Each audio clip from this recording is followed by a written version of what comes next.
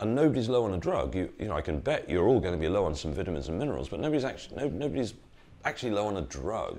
When I was young, I never heard of anybody who had a problem with bread. Gluten intolerance didn't exist. But then they made bread differently then. You know, vitamin C is probably the biggest kept secret of the lot.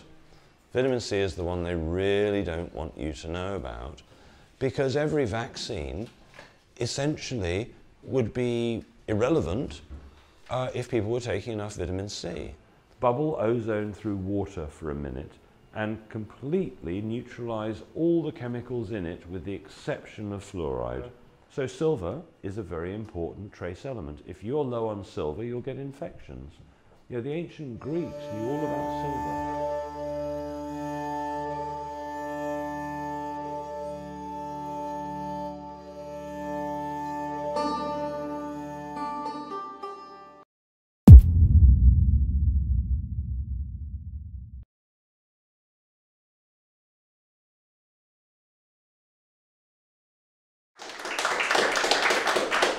Well, uh, thank you very much, um, all of you, for coming.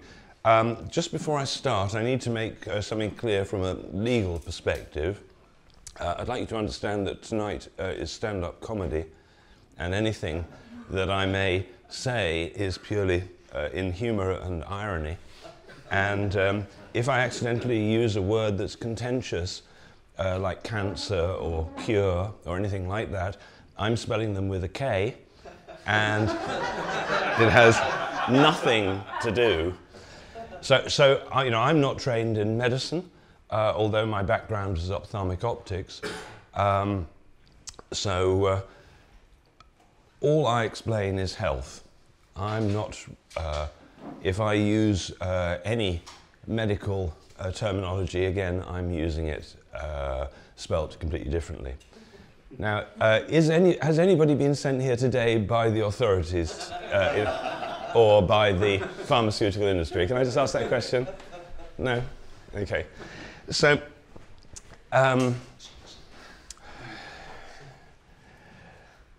uh, let's start with the most important stuff, okay?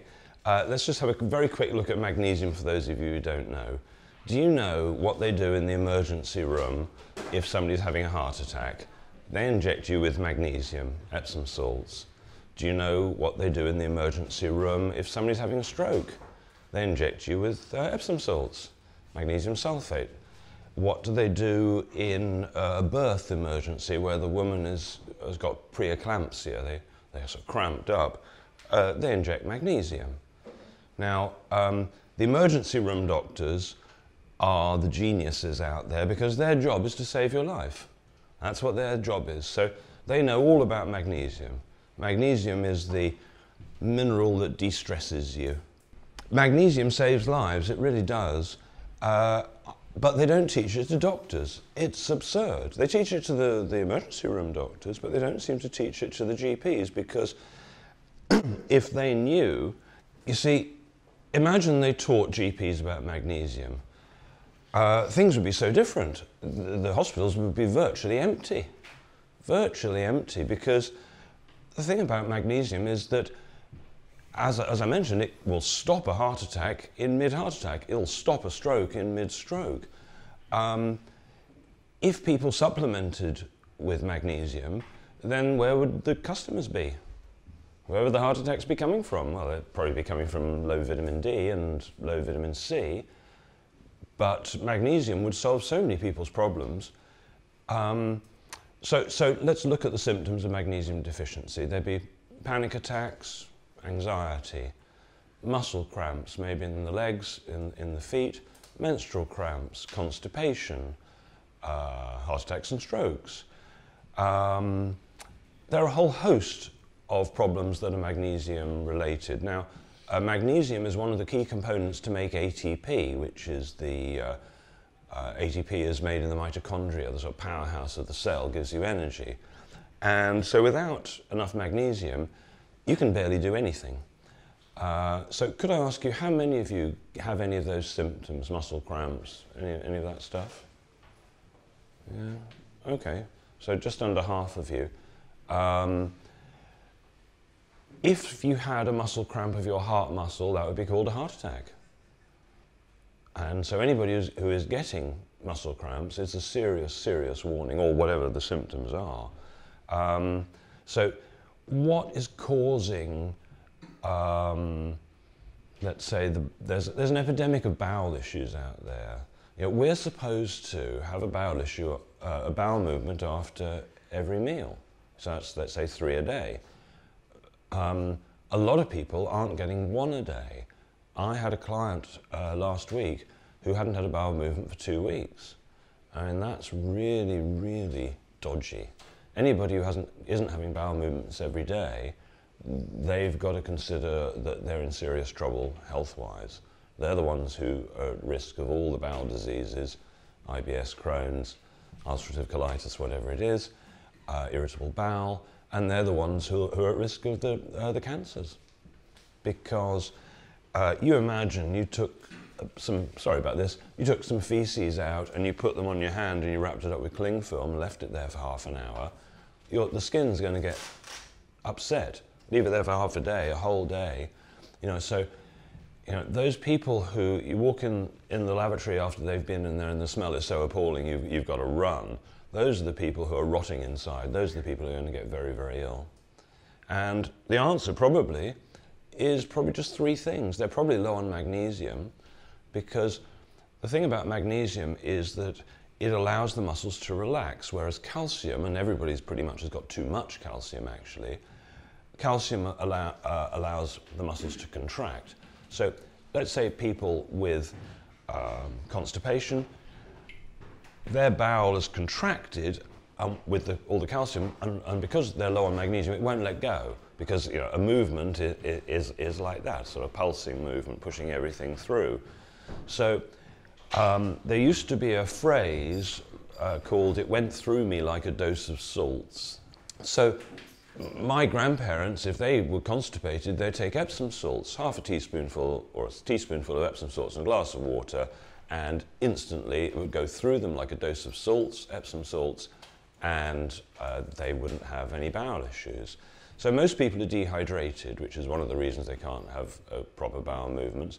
But lack of magnesium is rife. I would say 90% of the population are low on magnesium and just don't know it. And they've got a whole host of problems because of that. Now, uh, the best way to take magnesium, you can take capsules if they're pure. I don't like tablets generally because they're stuck together with glue usually. The capsules generally are better, but they can still put things like magnesium stearate and titanium dioxide and stuff in the capsules. And I don't recommend any capsules that have any additives whatsoever. The only reason they put this stuff in half the time is so that the stuff is slippery and it goes through the machines faster so they can run the machines faster. All they've got to do, generally speaking, is turn down the speed of the machines and they can run them without all these extra bits and pieces. And you don't need magnesium stearate, which is in almost every capsule out. So how, how, do you, how can you tell whether the, your supplement company that you're buying stuff from is any good or not? Well, it's a real issue because I would say 90% plus of all the natural health manufacturers out there have been taken over by the pharmaceutical industry or you know, big food or big pharma. So, you know, um, I think probably one of the famous makes in England is Solgar.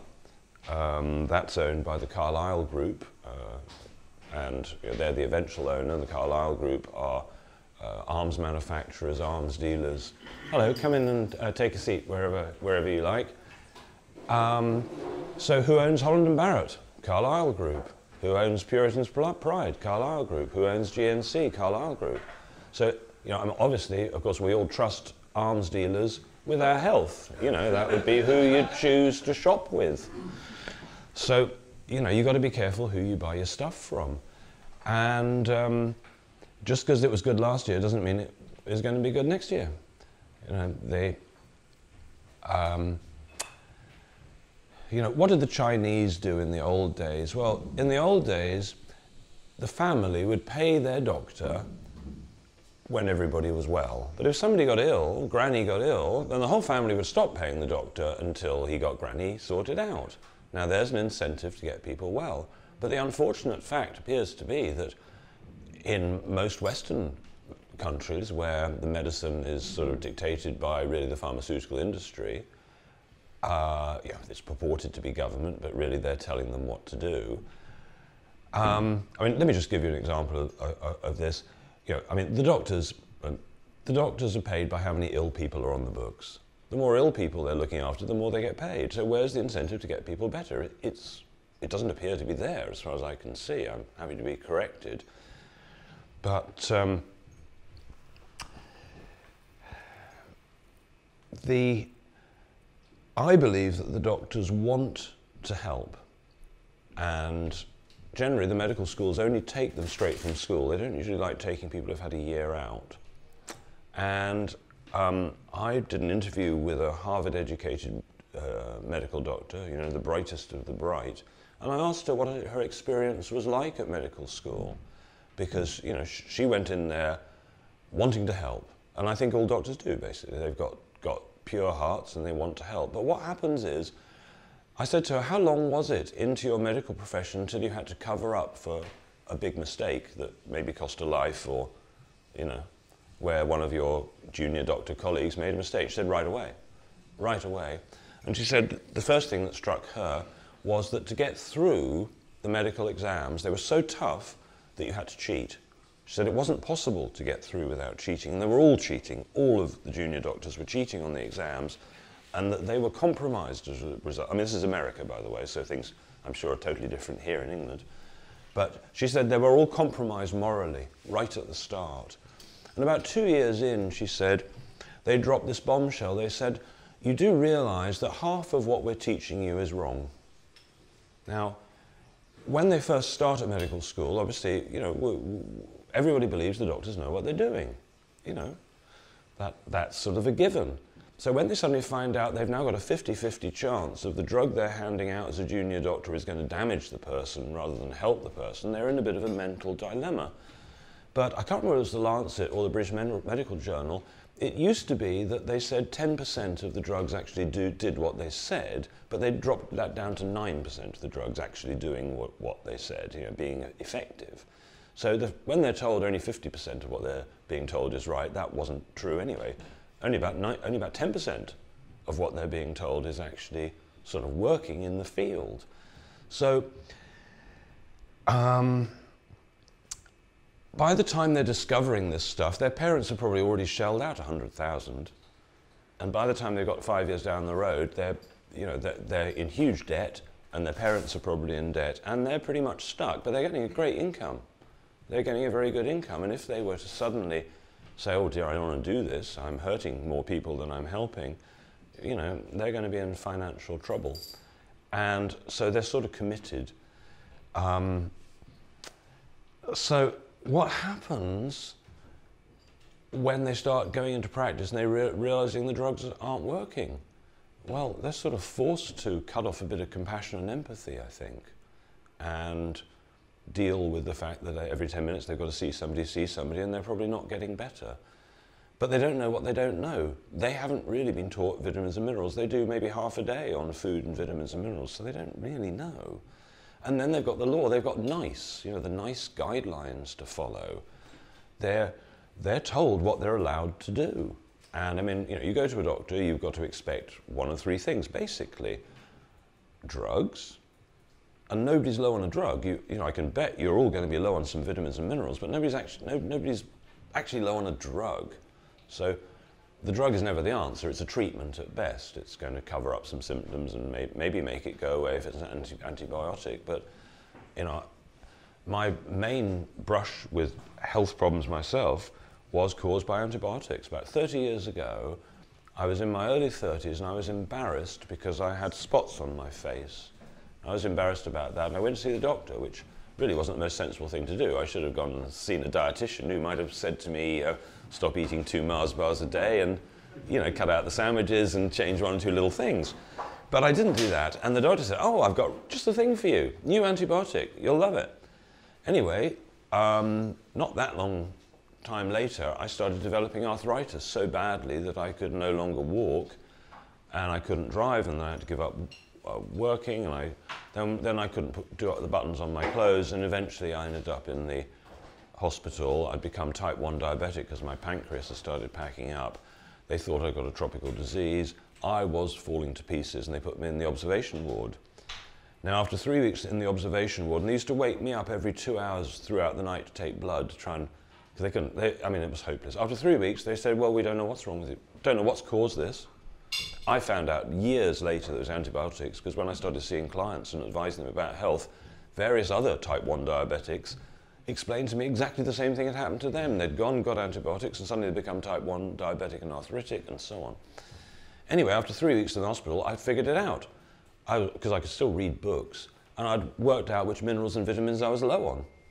And I actually got advice from Patrick Holford, who's now written about 40 health books, and he told me what to do. He told me which vitamins and minerals to take, and what essential fats I needed, and what amino acids I might be low on.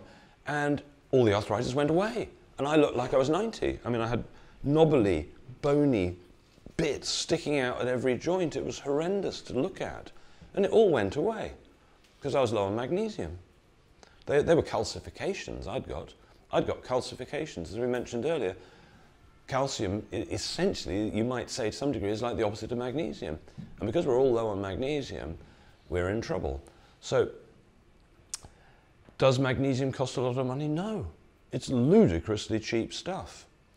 Uh, were our ancestors low on magnesium? No. No, they weren't. Because things have changed.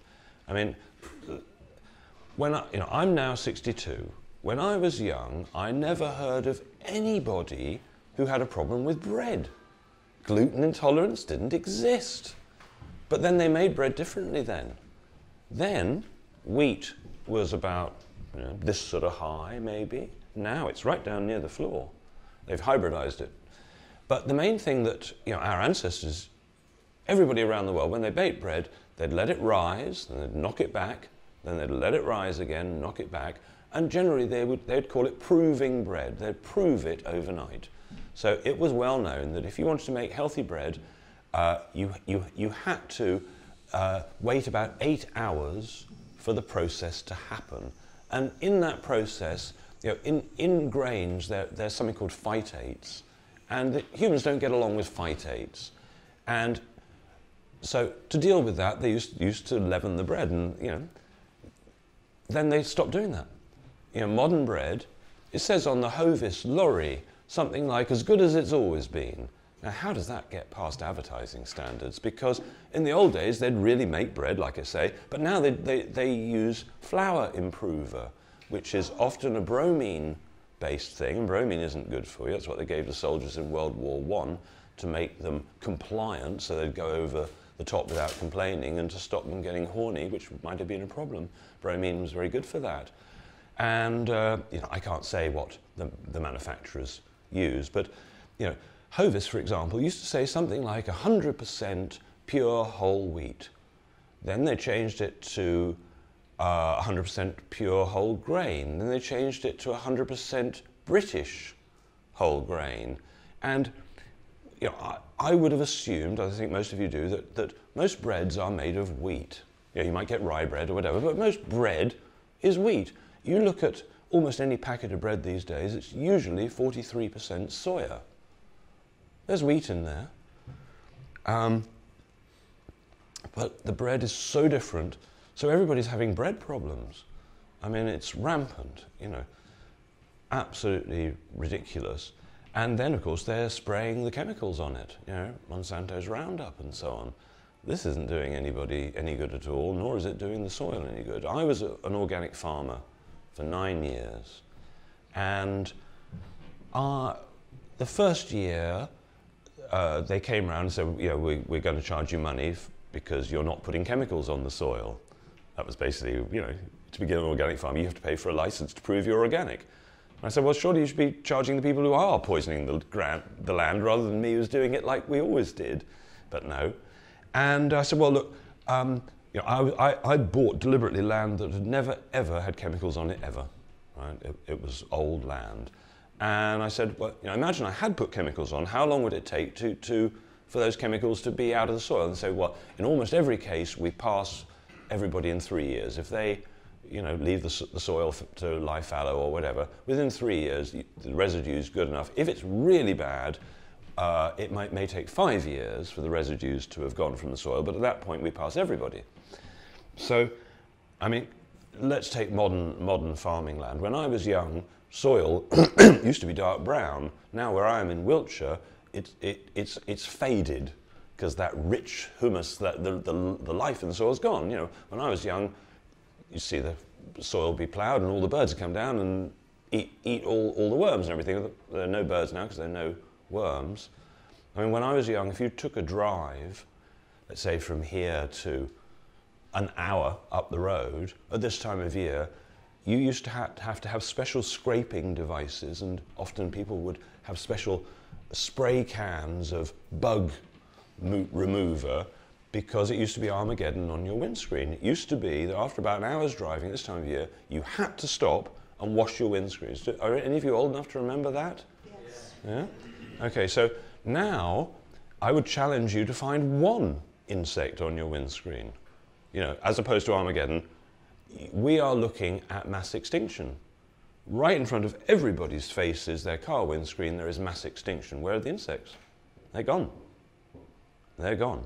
You ask people, look, if 90% of the insects disappeared, would you do something about it? Most people say yes. You say, what if 95% of them disappeared? Would you personally do something? And most people would agree. You point out the windscreen, they realize that 99.9% of them are gone. You know, where are the birds? Where are the bats? Where are the swallows? Uh, you know, uh, most people can ignore reality you know, as they say, you can ignore reality, but you can't ignore the consequences of ignoring reality. But, you know, people need to wake up because I think the definition of pollination sort of includes insects in there somewhere. And, um, you know, so that's my favorite one to wake, wake people up in the street, so to speak. Where are the insects? Uh, luckily, some people do say, well, I live in, you know, the middle of nowhere and there's still insects. But uh, I drove down here today and uh, I didn't have to stop. So, um, you know, the, the, title of the talk is Why Are Cures Illegal? You know, probably most of you know about the 1939 Cancer Act. You know, the pharmaceutical industry, industry has been in control of government and made up the law since 1939 when they got the monopoly. You know, there are three monopolies in England that I know about. There, there's the dentists who have the monopoly on working on your teeth. Nobody else is allowed to do it. There's the Cancer Act, which gives the monopoly of cancer to doctors, and there's the Monopolies Commission, because obviously there should be two of those. Anyway, um, so it is a real problem uh, because clearly the doctors don't always get it right. You know, if I'd listened to the doctors, I would have been dead. You know, when I was in hospital, if I'd taken the drugs they'd suggested and done the operations that they'd suggested, I would be dead because they didn't know what they were doing, and they admitted as much to me. So, um, about three years, two years maybe after I recovered, uh, my dad's best friend uh, took me to one side, and he'd, he'd had cancer once, and they'd taken out a kidney, and they'd done various things, and he took me to one side and said, well, I'm sorry to tell you that um, I, the cancer's come back. And uh, I think, I can't remember how long he'd been given to, to live at that point, but it wasn't that long. But he, he knew what I'd done, uh, and he decided to, to, go one step further, and he rang up Linus Pauling, who's the only person in the world to win the Nobel Prize as an individual twice. And he found him in the phone book in New York. And he rang up Linus Pauling. Linus Pauling said, look, uh, build up as fast as you can safely to a high dose of vitamin C. He recommended at least 30 grams a day. And my dad's best friend, um, actually, the story he told me after, after that was that he was on his way to the doctor's office in New York and um, he got mugged. Six guys tried to mug him and he hadn't been taking the chemotherapy, so he's still strong. If, you know, there are a lot of people who, if they don't do the chemo, uh, it's not always the case, but in many cases, they're still feeling all right. Okay, they've got this tumor and it's big, but it doesn't necessarily mean that it's that they're getting a bad effect from it. Anyway, he was still fit and strong, even though he'd been given a short time to live. And he decided, he was convinced he was going to die, by the way, at this point. He took on all six of them. He was a tough guy. Took on all six of the muggers, broke one of their arms, and they all ran off screaming. And he kept his wallet. And he arrived at the, he was on his way to the doctor's. He arrives at the doctor's. The doctor said, "Well, I don't know what you've been doing, but, but we can't find the tumour. Gone." And he died 25 years later, and it wasn't of cancer. So I saw pretty clearly that the doctors don't always get it right. Yeah, they may want to get it right. You know, I'm not criticizing them, but they don't always get it right. And so I started to think, well, why do bodies go wrong? I started studying spontaneous remission. I started reading people's books and stories, the ones who, you know, they'd had a tumor the size of a basketball and then suddenly they got better for, for some reason. And I wanted to know why. And I found the answer so quickly it was silly. It was gratitude. It was gratitude. Gratitude is the big answer for everything. Gratitude. And what it was is they all said roughly the same story. They said, look, when it first happened, it, it was all about why me?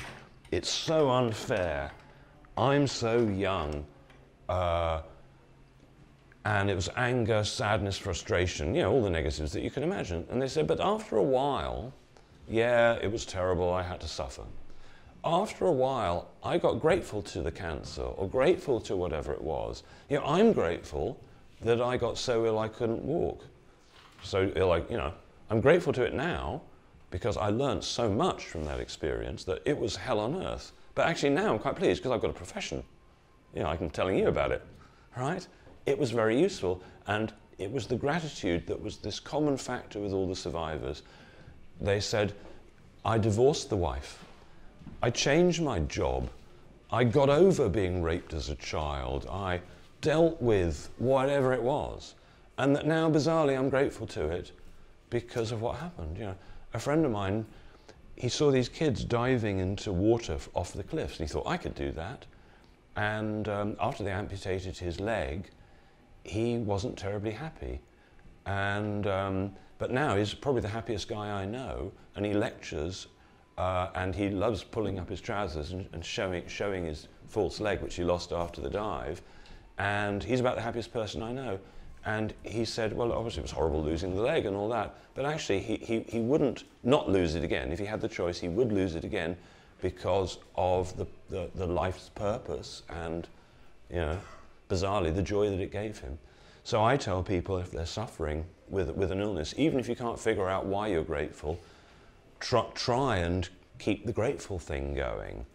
Um, Tony Robbins, you know, probably you've heard of Tony Robbins, he's the sort of motivational speaker, huge guy.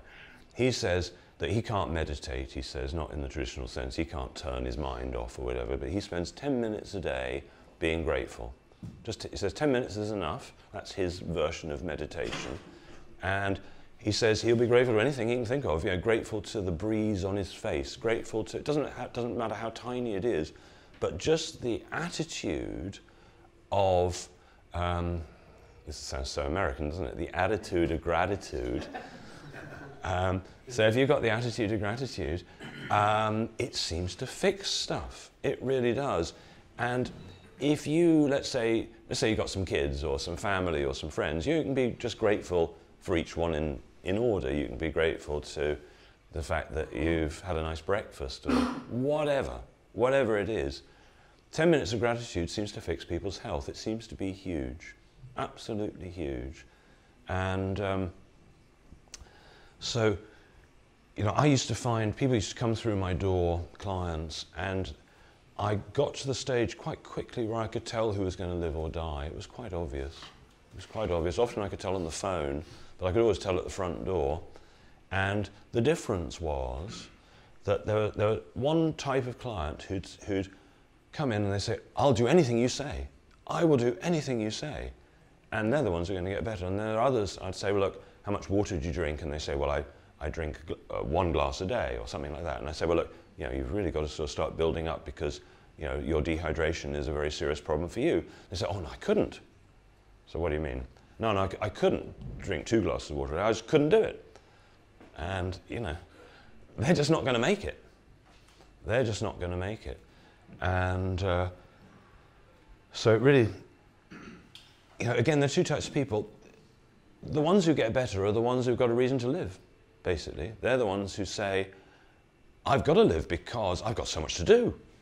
And then they're the ones, well, it depends. If they want to do it for somebody else, if their motivation is to be of service to others, they live. If their motivation is, well, I'm going to buy myself a new car and I'm going to buy, if it's all about them, uh, you know, this, honestly, this is the, the big thing, the gratitude and if you're being of service to others. You know, when we're young, we want to be of service to ourselves. We want new stuff and we want, it's all, all about us. And then at some point we realize that actually what makes us happy is other people telling us we're wonderful. You know, because there's a, a, positive side of everything. There's positive selfishness. You know, we're, we're led to believe that selfishness is bad, but actually, the positive side of selfish is um, where we're doing it. well, let me try and explain it this way. What really makes us happy is when somebody tells us that they love us, that we're doing something good. That's really what, what it's about. And ego is a good thing from the perspective that we need to hear that we're great. Um, you know, th th there are four questions. You know, a couple of secrets of relationships. There are four questions. I read it in some book somewhere. I can't remember which one. And if you were asked this question, what would you answer? Your loved one could do something for you. They could take you out. They could buy you a present. They could tell you that you're wonderful or they could do something around the home. So they could take you out, tell you you're wonderful, do something around the home, or buy you a present. So I started asking men and women this question. Now, most people just don't admit to, I want to be bought presents. Few people do, but not many people want to go for that one. A lot of people say they want to be taken out.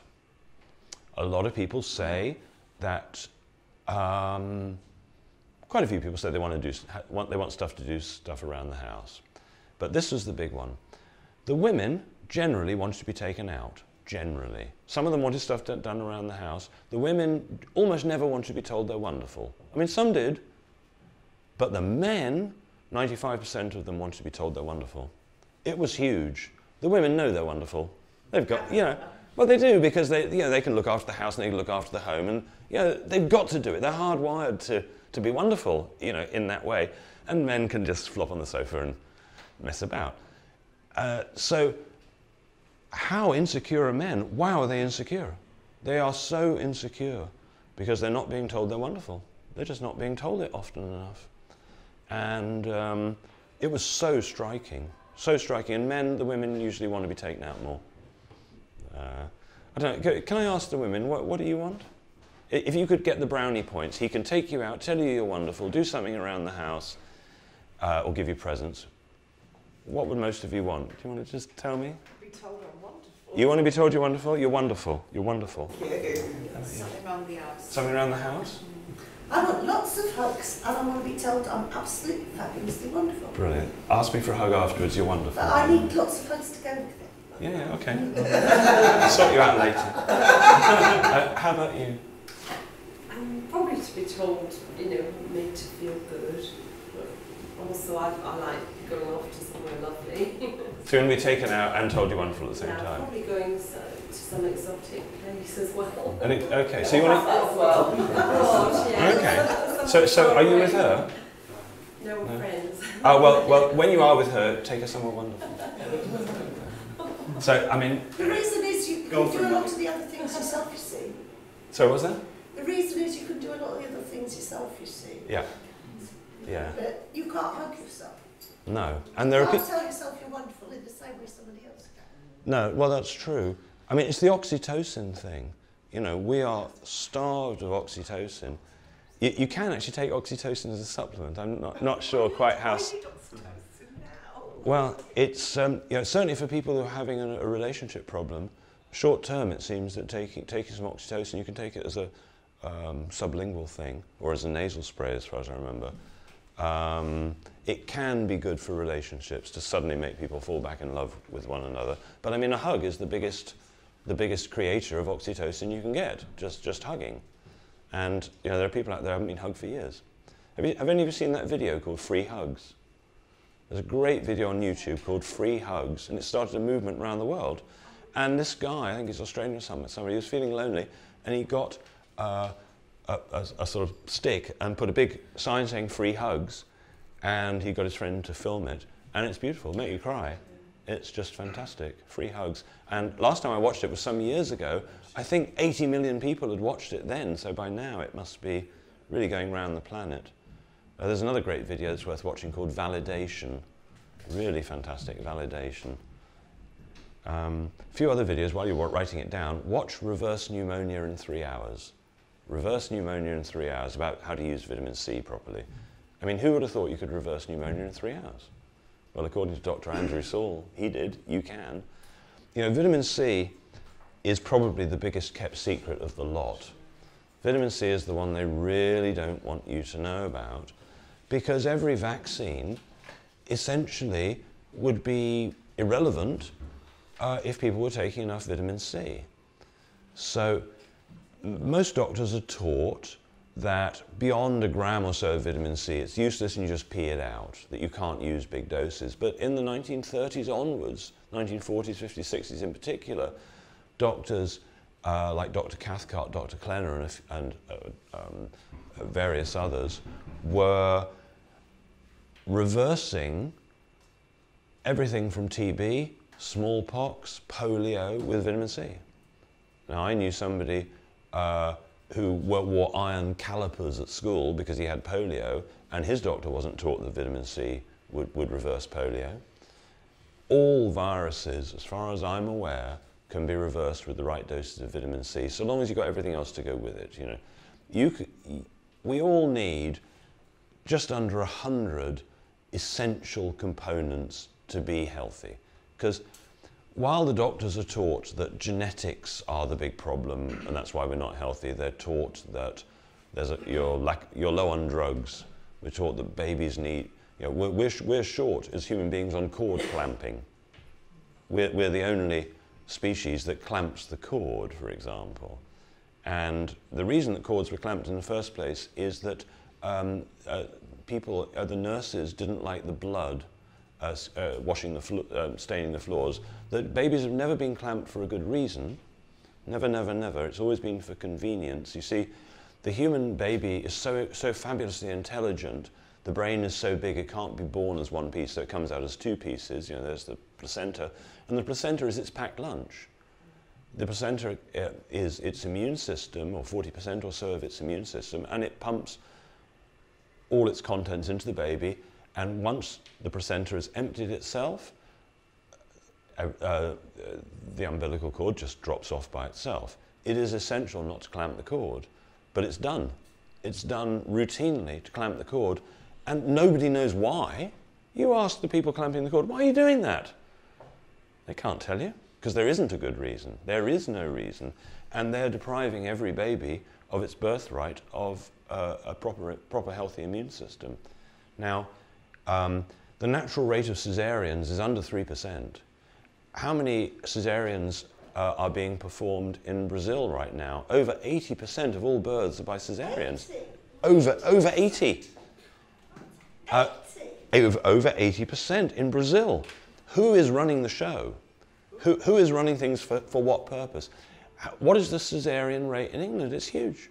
Way, way beyond what it needs be because people want elective caesareans these days. The doctors quite like it because they can do it in office hours.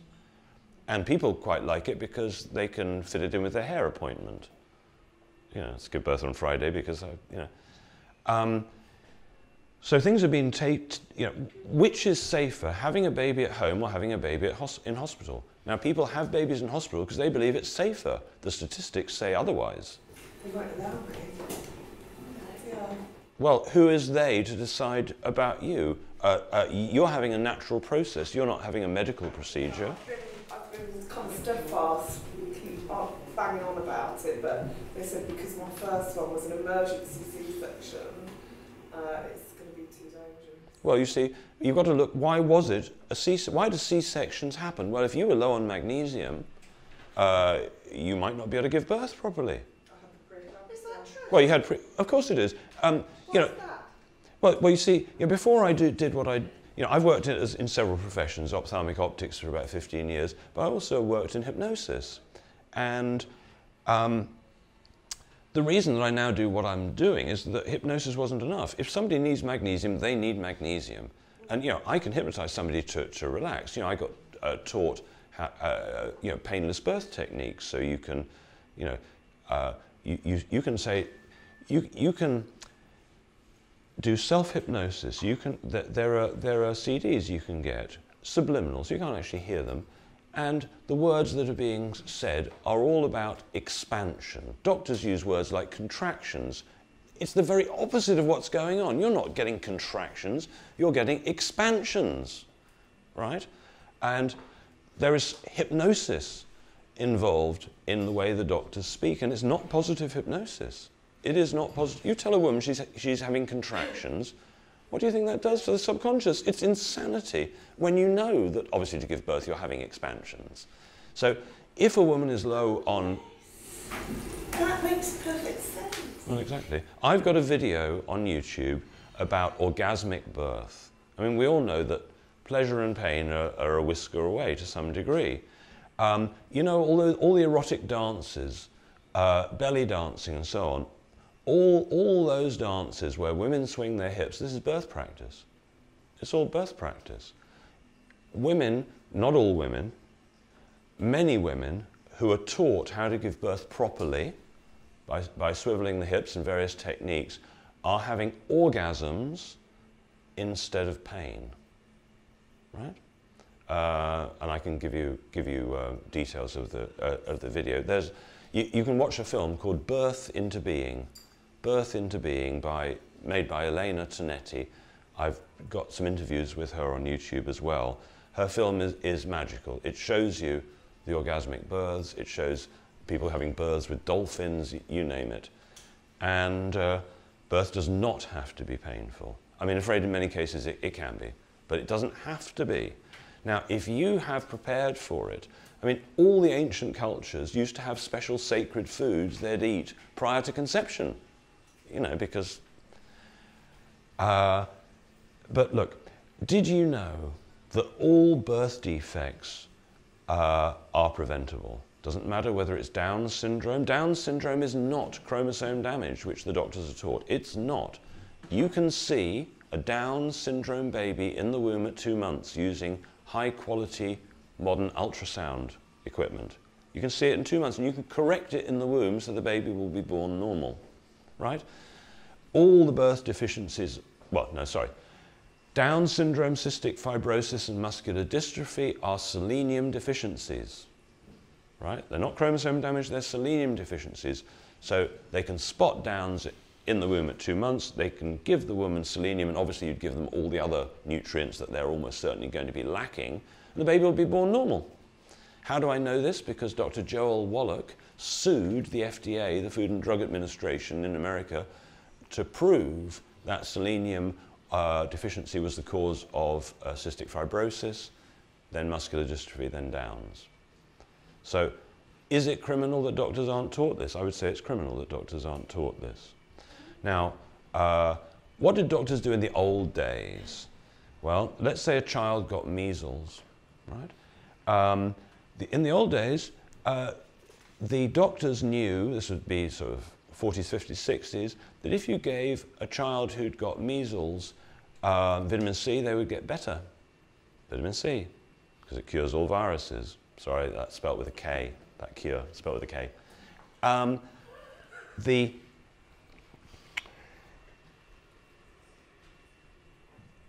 what the doctors would do if measles was very serious for a child and it had been left untreated, a child can go blind, right? Now, what did the doctors do with a blind child? They injected them with vitamin A and their sight would come back. Vitamin A restored the sight of children who'd lost their sight because of measles. Do they teach this to doctors these days? I don't know. I don't know, but they should because vaccines are, are causing the most desperate damage. Um, who knows uh, what a human diploid cell is? You know what a human diploid cell, right? Okay. Correct. Correct. It is aborted fetal cells, and that's what they're that's what they're cultivating vaccines on in many cases these days. Now, previously they were using chickens' eggs, so you're getting the DNA of a chicken. After that, they used monkey kidneys. So you're getting all the viruses that were in monkey kidneys, and there are many, many viruses that they were injecting people. They were injecting monkey viruses, but now it's just straight cannibalism. They're injecting the DNA of other human beings. legal? No, This, how, how is it legal that the, is because uh, the drugs industry does what it likes, doesn't it? They can rush through an untested drug, but they'll try and ban apricot kernels. You know, it's, it's just a joke. Um, so I uh, have made some videos with uh, several of the leading figures in this field. I made a video about GCMAF with David Noakes. Do any of you know what GCMAF is? I watched it last night. All right, okay. So David Noakes uh, is a very, very brave individual. He started manufacturing GCMAF and he started announcing pub- publicly, and I'm speaking as a reporter now and spelling it with a K, that the clinics in Switzerland and Germany were reversing 80% of stage 4 cancer, which is unheard of. Unheard of. And he was also saying that 25% of the autistic children uh, using it, and there is a protocol, it's not just one thing. There is a protocol, we're reversing uh, all the symptoms of their autism. Now, uh, Dr. Marco Ruggiero was working with David at this point to develop this product, and he then realized that by adding olive oil to it, it made it 25% more effective. Simple as that. Then, about a year ago, he realized that everyth- all the reas- everything he th- how he realized a year ago that the mechanism by which GCMAF was having these incredible results, he'd completely misunderstood it and got it totally wrong. And he'd thought that it was GCMAF that was doing the good work, but it turned out not to be. Didn't need to have GCMAF in it at all. And he's come out with a new version, which is this, called Rerum. And this is made from three well known ingredients olive oil, vitamin D, and chondroitin. Now, vitamin D we know about, sunshine. Olive oil we know about, oleic acid. And chondroitin has been used for decades. The Mayo Clinic did studies uh, uh, using uh, K's again, cures and, uh, curing cancer with chondroitin. Chondroitin is in Boots the Chemist. It's glucosamine and chondroitin is the famous arthritis remedy that, that all, the, all the, the pharmacists would recommend.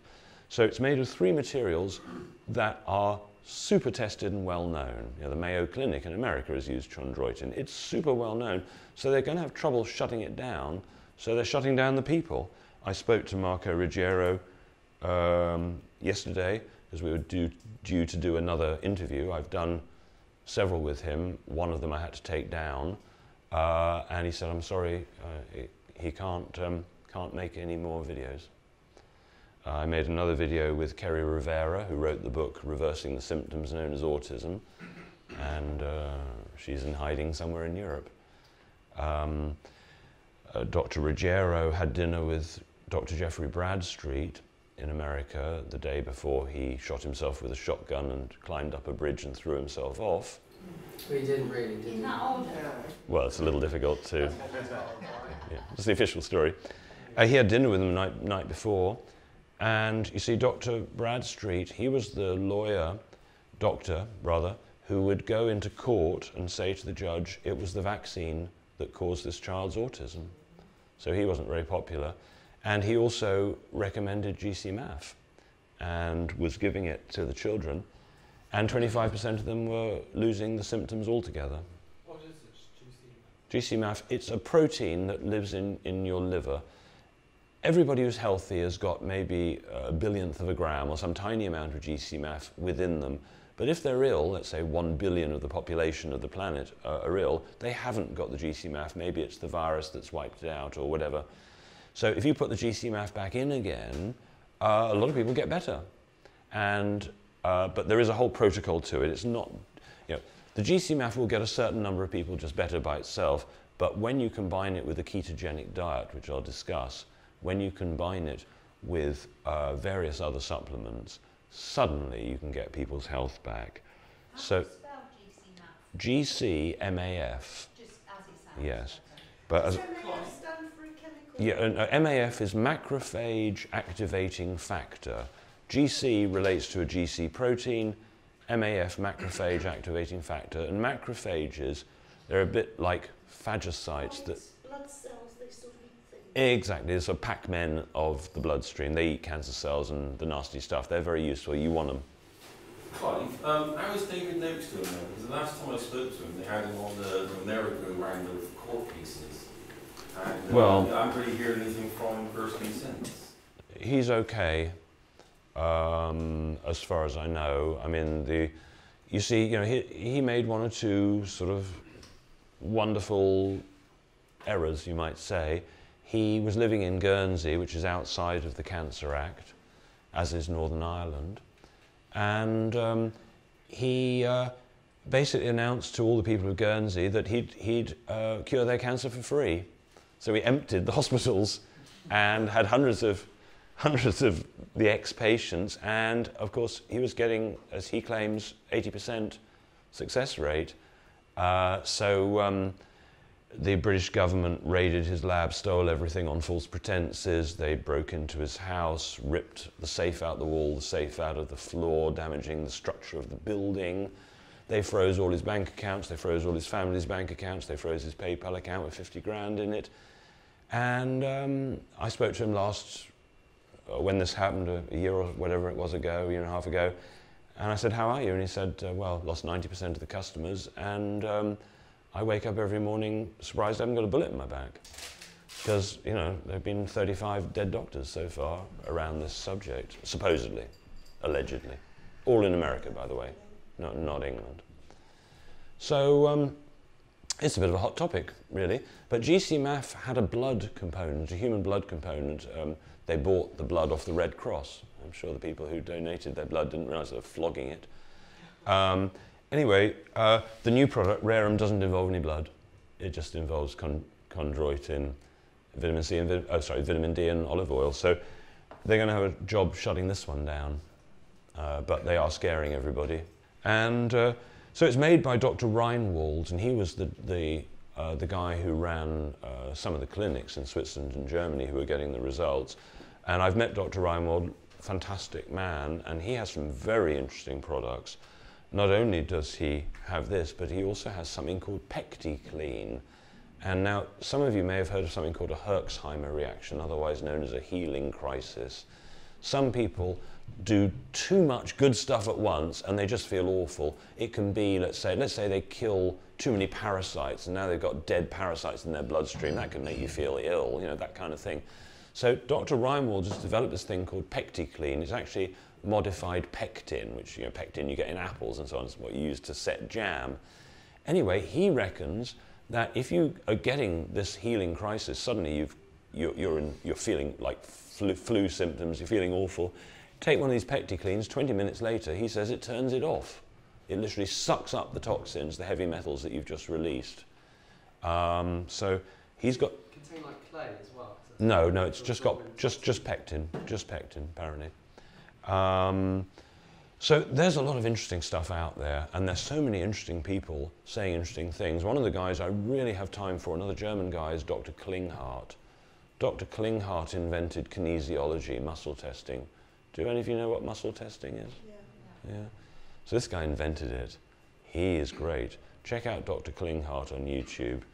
Uh, amazing, amazing level of information. And he's, he's using Rerum a lot, as, as are quite a lot of people. Klinghardt, yeah. K L I N G H A R T. Uh, there are a few other people that are worth checking out. One of them is Dr. Tent. If you haven't come across Dr. Tent on YouTube, genius. Tent. Tent, T E N T, uh, Ameri- American health specialist. Um, okay, let me tell you a few other things. Um, you know, different countries have got different health things going on. The Russians, for instance, they don't have the big pharmaceutical industry like the Europeans and the Americans. They rely on other techniques. And this is a Russian device. Um, and I use this a lot. This um, is sold in England called a Pain Genie, and they cost about 450 quid. And they run on a little 9 volt battery. And I used to use, for getting people out of pain particularly, and mm, shrinking things, I used to use a big device called an Indiba, which is a Spanish device, basically a Nik- Nikola Tesla radio frequency device. And you see, cancer cells can't survive over about 43 degrees C, whereas you, a human being, can uh, go up to about 47 degrees C without expiring. So by using high temperatures, cancer cells cannot survive. Similarly, uh, the Nobel Prize was won in 1931 by Otto Warburg for showing that if you deprive a regular cell of oxygen to survive, it starts burning glucose, changing from aerobic to anaerobic, and that's the definition of a cancer cell, uh, where it's been deprived of oxygen. So you can use oxygen again to uh, revert cells back to normal, because you can either kill cancer cells or you can revert them, turn them back to normal. And obviously, turning them back to normal would be, the, be a, a better way to go. Anyway, back to this little device. Um, this little device has been used to reverse eye problems from macular degeneration to retinal problems. It um, is licensed for pain relief, but uh, if anybody's in pain, uh, I'll use it on them afterwards or in the break or whatever, and it'll get you out of pain almost right away, more or less most of the time. Um,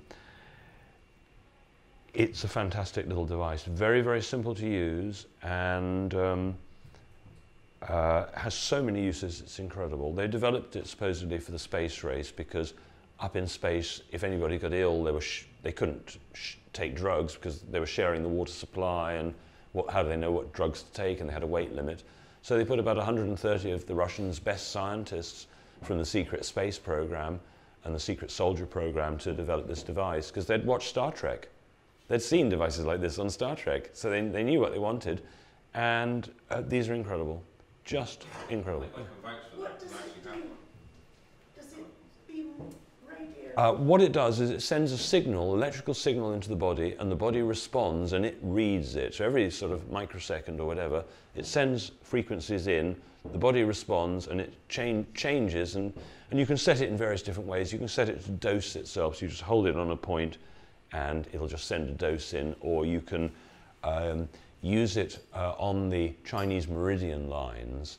So generally speaking, most people use it just on the arm because the arm's easily accessible. You could use it on a finger, you could use it on the earlobe, you could use it on the place of pain itself. But because of the, the way that Chinese thinking goes with, with, with health, um, you know, this, this each uh, piece of um, single bone structure can represent the entire body. So you can use this, and depending on uh, you, you, what, what you do is you rub it over the skin, and then suddenly you find you've got a sticky bit, and that sticky bit uh, relates to some blockage somewhere, and you can tell where it is as to what part of the body uh, the blockage is often. So you can, you, it's quite an interesting little diagnosis tool sometimes, um, and it's very effective. You can often unblock things in two, two minutes. You, you wanted to ask a question? Just going to say, um, I have a detached retina.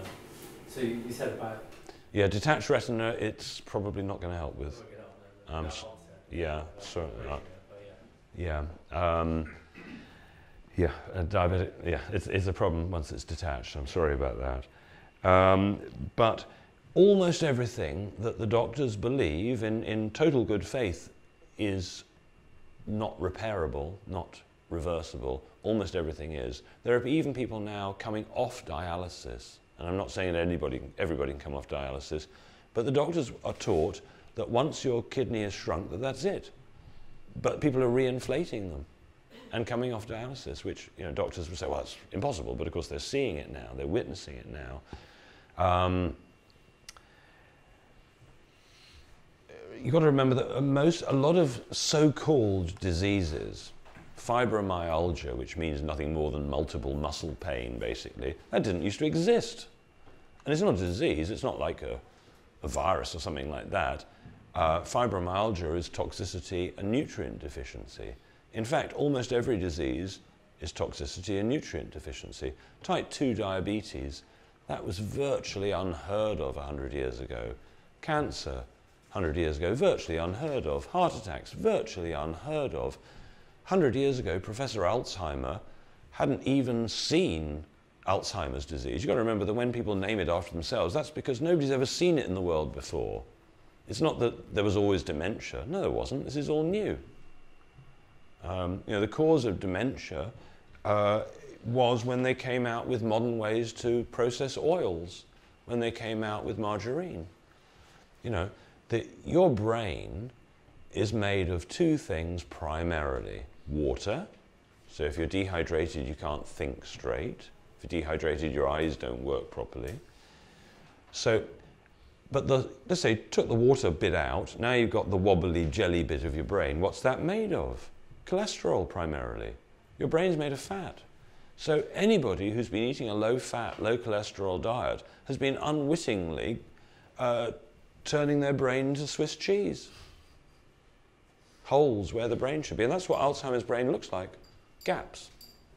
For years now, I've worked on the basis that my great grandparents lived well, well into their 80s and into their 90s as farming people with dairy herds and eating butter and bacon and eggs and so on. And when all this thing came out about having to these, have these fancy margarines, I just said no, not having it.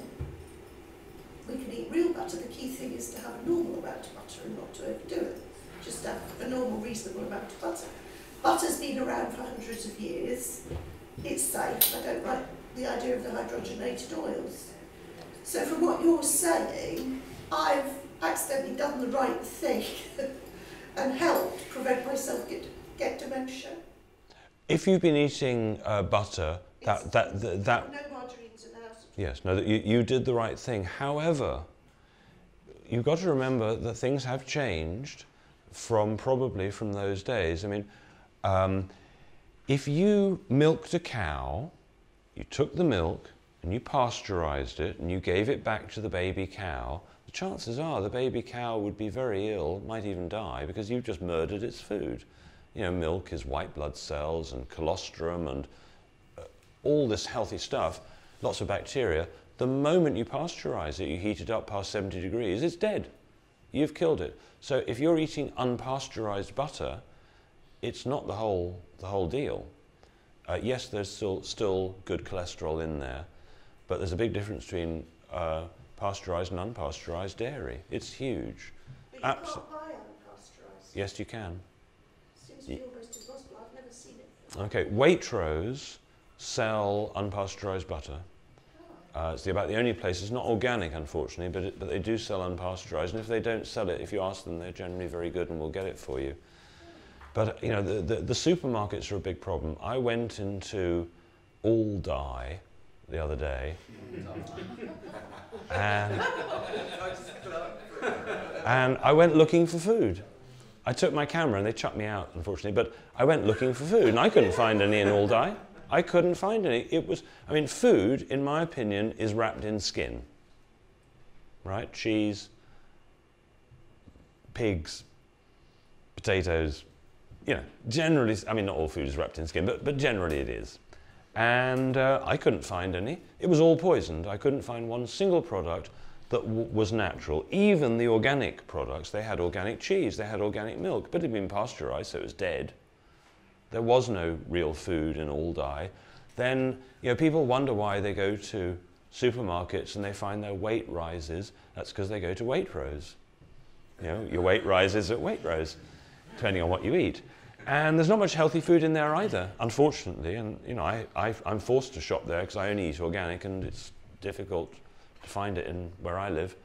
Uh, although I have got a fabulous um, Japanese farm just down the road from me. They practice a healing art called Johrei, and I asked them, you know, how do you how do you fertilize the land? Are you, you know, what are you doing? And they said, we only use love, and they do.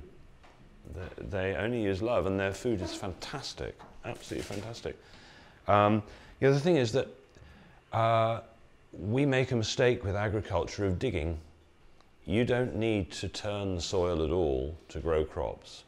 You don't need to. And the Japanese have got a, a no dig system, which I admire greatly. There is no need to dig. Let's say that you wanted to turn your back garden into a food production unit. Let, let's just say, for argument, it's totally covered in grass and you would like to have a food production unit there. Do you need to dig? No. No, you don't. You don't need to dig at all, ever. You go to a local person who does um, horticulture, agriculture, you know, like a tree, person who chops down branches and chips them in a wood chip machine. They have to pay money to get those wood chips taken away. You ask them to, to dump nine inches of wood chips on, your on your grass. You might want to put a bit of uh, newspaper down to help the grass just die. Nine inches of wood chips. Now think about the wood chips, right? Um, 150 years ago, our ancestors to cook lunch would have got some wood, burnt it, and then the ash they would have taken outside and sprinkled it outside. Now they also would have grown the vegetables right outside the back door. You know, who would have wanted to walk to your veg patch? So, and this doesn't matter where you are in the world, it is traditional to take the ash from the, from the wood fire and sprinkle it on your veg patch. Because, think about it, the trees, whose roots are usually a lot deeper than the tree is high, have gone through all those layers of minerals, all those layers of rocks, and they've mined right the way through, maybe hundreds of feet, to bring up in the wood all life, because all life is in the soil. Every, everything that's lived and died has gone back into the soil. So the soil is a perfect mineral balance. So when we started having gas fires and ovens made with electric ovens, we stopped, we broke the cycle of putting the minerals back. So if you want to do gardening and you get those wood chips, nine inches of them, each time it rains, minerals come out in perfect balance. So let's say your soil underneath that grass, you can't even dig it, it's like rock, right? After a year or so of the water going, going through and trickling the minerals through, the life in the soil will come back. And after about two or three years, you'll just be able to put your hand right in the soil and it'll all be soft and friable and lovely. You can recondition the soil and there's no digging involved. So let's say you want to now plant, you've got your nine inches of wood chips, you, you, you're going to have to start to begin with with, with, with seedlings that are already growing in, in, a, in a pot.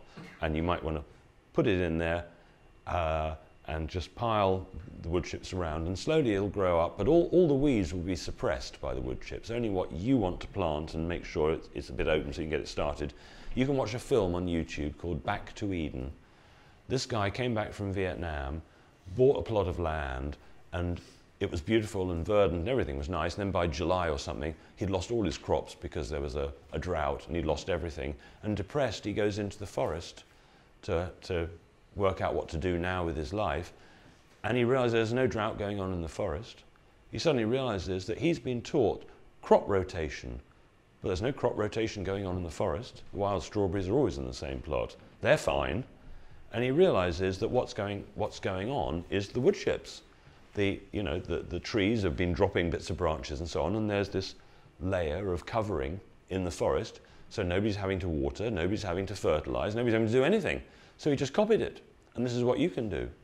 Watch Back to Eden. Now, many years later, you know, he, he, he doesn't water, he, doesn't, he hardly has to weed, and every month on YouTube there's a tour of his garden, the Back to Eden garden, where people eat vegetables that they'd never eaten in a million years, go, this is the sweetest, most delicious thing I've ever tasted because of this mass mineralization.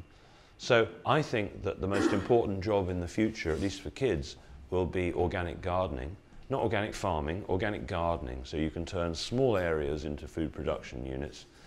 And let's say you haven't got a garden. Well, what I do is I sprout seeds.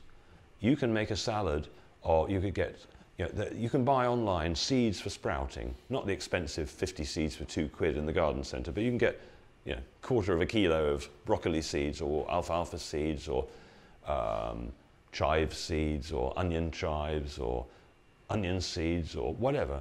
You can make a salad that's absolutely fresh that you've grown yourself just by sprouting seeds. It's easy. Um, so if you haven't sprouted seeds before, it's so ridiculously easy. Go on, go on YouTube. You don't need any equipment. You just soak some seeds in, in, in a, a, glass jar for half a day, strain them off, leave them in the glass jar damp, then rinse them twice a day, and within two or three days they'll be sprouting. And let's say you put in an eighth of an inch of seeds, you can fill the entire jar in a week with fresh sprouts. Very cheap, cost you pennies for a salad, absolutely pennies. And you, could, you can sprout loads of things. I'm sprouting at the moment at home red clover, I'm sprouting pea sprouts, pumpkin, sesame seeds, alfalfa, all sorts of things. It's so easy. You can eat for almost nothing and it's fresh. You can be on the 35th floor of a council block and have fresh vegetables every day. The other big one, of course, is fermenting, fermenting foods. Um, our ancestors here in England, to get through a cold winter, how would they have done it? Because, you know, the, all the rivers were frozen. Three, 200 years ago, was it? The Thames used to freeze for two months or something. There was ice skating in all the rivers. You couldn't dig, you couldn't grow anything for maybe six months of the year.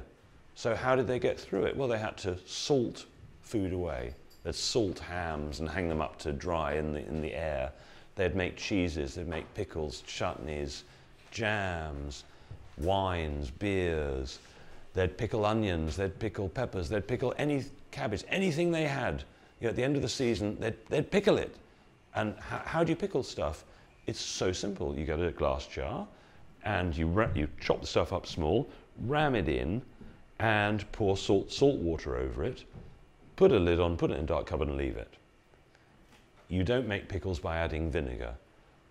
The water that you add becomes vinegar, right? It ferments, becomes vinegar.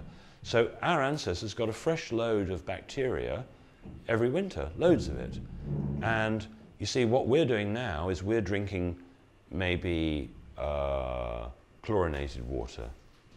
Now, if we're drinking chlorinated water, we're drinking bleach, and it's killing all the good bacteria. And 80% plus of our immune system is the bacteria. They've now just realized, just last year, that actually not only do you have bacteria in your, in your gut, which are doing the thinking for you, doing the digestion for you, you've you also got bacteria they now know in the brain. And the, your brain, the thinking power of your brain, is partly bacteria. It used to be thought that your brain was you, the human cells, but we're outnumbered 10 to 1 by bacteria. Right? We've got 10 times more bacteria in us than we have human cells in us.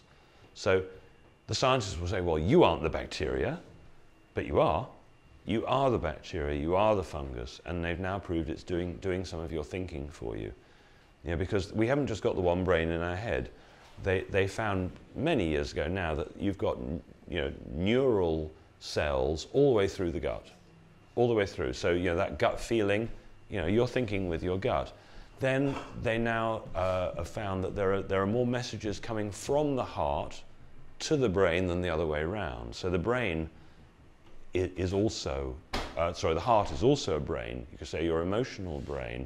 Then men uh, uh, think with a fourth brain, very often, which is lodged in their trousers. And uh, anyway, there are various brains. Um, so, is it important to look after the bacteria? Yes, it is.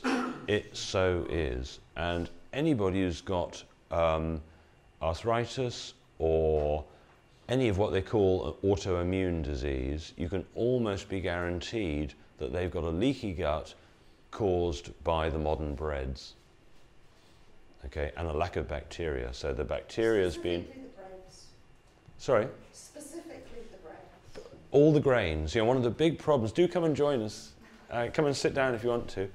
The, the grains are the, are the big problem because they've changed the grains. Um, you know, uh, I'm adv- what is the best way to get better? Well, I would suggest a ketogenic diet. A ketogenic diet is the best single remedy to get better. If I had cancer with a K, the first thing I'd be doing is I'd be coming off all grains, including rice. I'd be coming off all grains, I'd come off all starchy vegetables, and I would come off, come off all sweet fruit. So what's, what's that leaving me with? It's leaving me with any vegetables that aren't starchy. It's leaving me with mushrooms, nuts, seeds, eggs, uh, some meats, I'd be very specific, and fish. I would only eat fish that's very young and oily, like sardines, mackerel, sprats, herring, that sort of thing, because they're young, so they've had no time to build up mercury and other toxins, and they're fatty, which is very, very good brain food. I would, if I was eating meat, I would only want to, and fish as well, I only eat stuff that isn't farmed. Because all the farm stuff, the salmon, the pigs, the chickens, they're feeding them all soya. And whereas the EU has banned, in theory, genetically modified foods entering the food chain, they're feeding genetically modified foods to all the animals if they're not organic.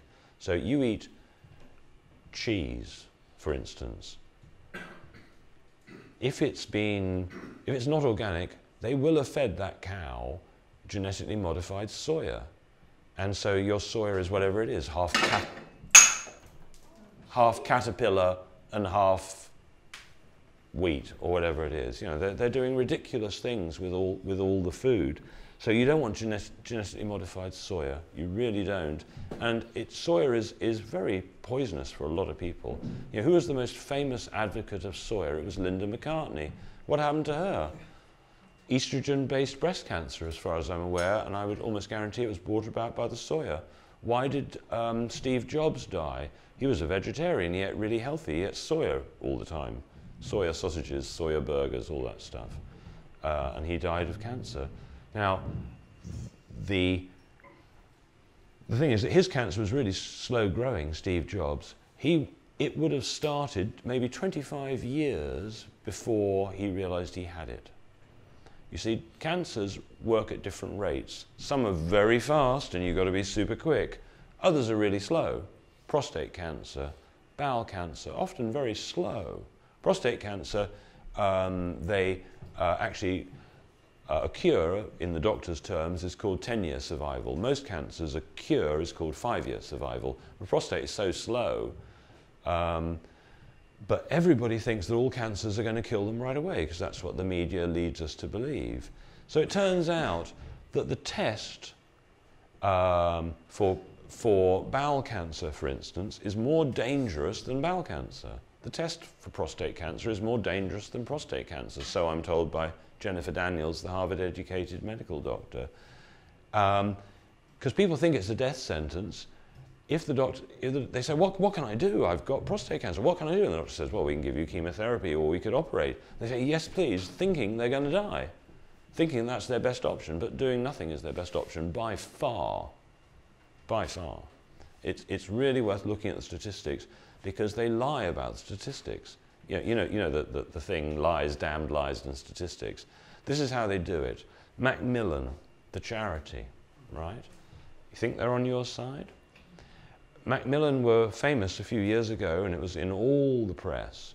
They said early diagnosis of breast cancer saves lives. And how, how, they, how they worked this out, they took two women. Now, breast cancer has uh, uh, a cycle from when there's the, the first cell splits and becomes cancerous, then there's a, a, a, doubling, a doubling, a doubling. So it takes about seven years, basically, for breast cancer. So it probably takes more than that. But when they can first spot it with a mammogram, there's about a seven year period. So let's take two women. Now, there's the, um, the lucky one, the Macmillan lucky woman. She gets diagnosed early with cancer. So it's a seven year cycle. So at year one, she gets diagnosed. They find something, it's one centimeter or 20 millimeters or barely visible. And they say, oh, if we act now, we might be able to save your life. So they start giving the lucky woman at one year in chemotherapy, maybe they, she gets a double mastectomy, rebuild, you know, all radiation, whatever it is. And she has six extra years of life and dies on the seventh year. So she's lucky, six extra years of life or five extra years of life. Now, there's the unlucky woman. Now, it's going to take about six years for a lump to be found by the lucky woman. So she's had six years of joyful life, totally unaware that she's got cancer. Then she finds the lump, and in one year she's dead. So she had late diagnosis, so she only lived one year. So do you get it? So the lucky woman gets six extra years of no breasts and lots of pain and no hair, whereas the unlucky woman, six years of bliss and one year of pain. Life, Versus no yeah. So, so people just read that. Oh my God. lucky woman listens to you and takes massive Well, um, you know, there's a reason why everybody gets ill, and it's very seldom genetic, for instance, as the doctors might say. You know, doc, you say, why have I got cancer, doctor? And they'll say, well, we don't know. They'll say, well, it's bad luck. Uh, you haven't been exercising. Um, it's your genes. It, it's you. It's all your fault, basically. That's what they basically say. But they don't, they don't know why. Uh, but I can tell you why. Because there are only three reasons why anybody gets ill, full stop. And those three reasons might be physical damage. You've been hit by a lorry and, well, now you're ill. Okay, let, let's just rule physical damage out. Two other reasons toxicity and nutrient deficiency. And let's face it, we're all toxic. You can't help it. If you're breathing, if you're eating, we're all toxic. So we've all got a, a load of poisons in us.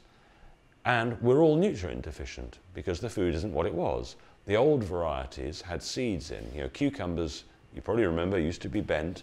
And if you remember, if you're old enough, they used to have seeds, big viable seeds in a cucumber that you could plant. Every apple, every grape, every orange, every mandarin, they all had viable seeds. You could dry them and plant them. Now, most things are seedless. So if, if a bull, a prize bull, was seedless, it wouldn't be a prize bull. It would be totally useless. And we're led to believe that seedless grapes are good for us. How can something that's too weak even to reproduce itself be any good nutrition wise? Right? We're eating, we're eating seedless bull. It's, it's, we're eating rubbish. And besides which, the soil's destroyed. There, you know.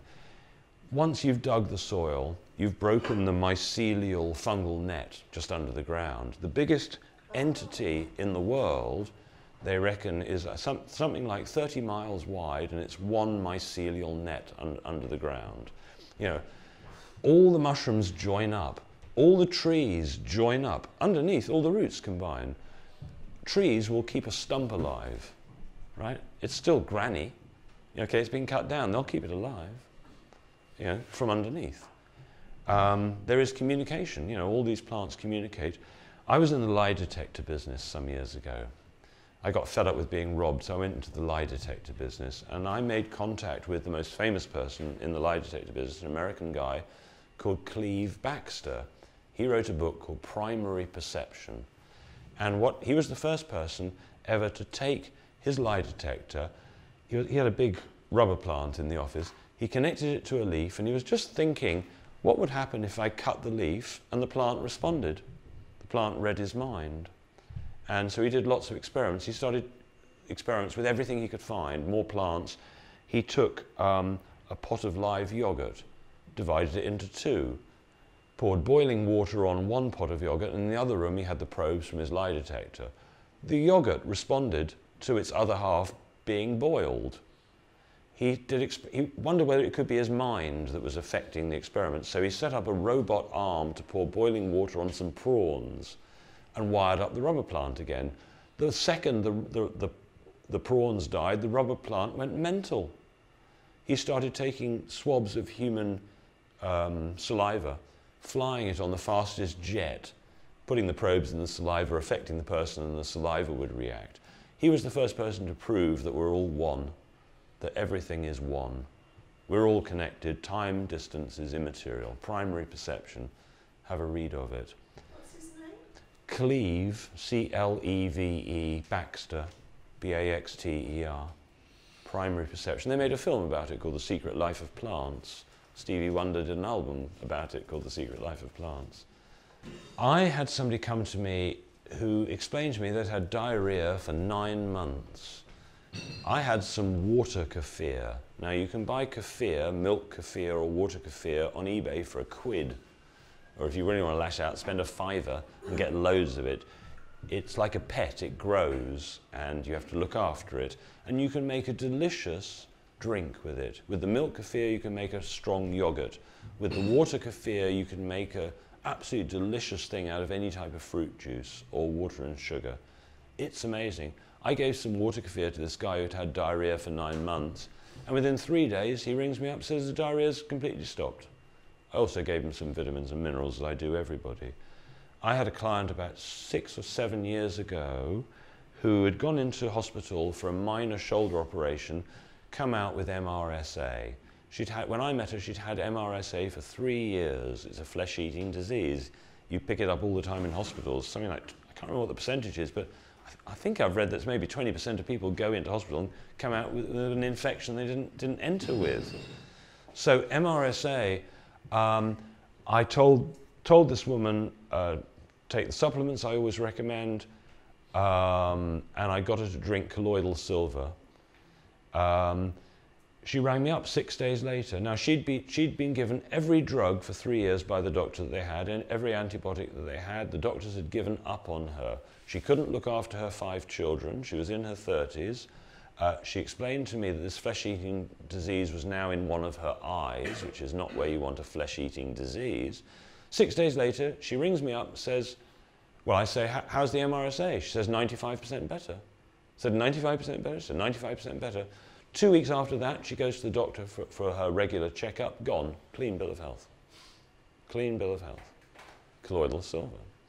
Um, I got invited onto the panel advising the Sierra Leone government about what to do with Ebola. It was me and about 12 other people, Patrick Holford, the ex health correspondent of the Times, all sorts of people, and we, we gave our opinions of what, what should be done for Ebola. And vitamin C, colloidal silver, and ozone were the three remedies that everybody basically agreed with. And um, the, the ex um, health correspondent of the Times was very interesting. He explained to everybody there, the ambassador and everybody, um, what he'd learned about AIDS. You know, as the health correspondent for the, for the London Times, he'd been writing about AIDS for years. And I'd seen AIDS, or what I thought was AIDS. I remember going on holiday to an island called Key West in America, in the Florida Keys. And in Key West at that point, virtually everybody was gay and they were all dying. The whole island was full of these very thin, grey people dying. And I believed, like everybody did, that they had AIDS. And I remember myself, I had to go for an AIDS test. And it was all very worrying. And there were people who were committing suicide because they'd got this positive AIDS test. A friend of mine was haemophiliac, and he was the first English patient with AIDS, as far as I was aware. He's still alive today, right? Still alive today, didn't die. Anyway, um, I used to believe that the AIDS test was accurate. I used to believe that AIDS existed. Right? AIDS doesn't exist.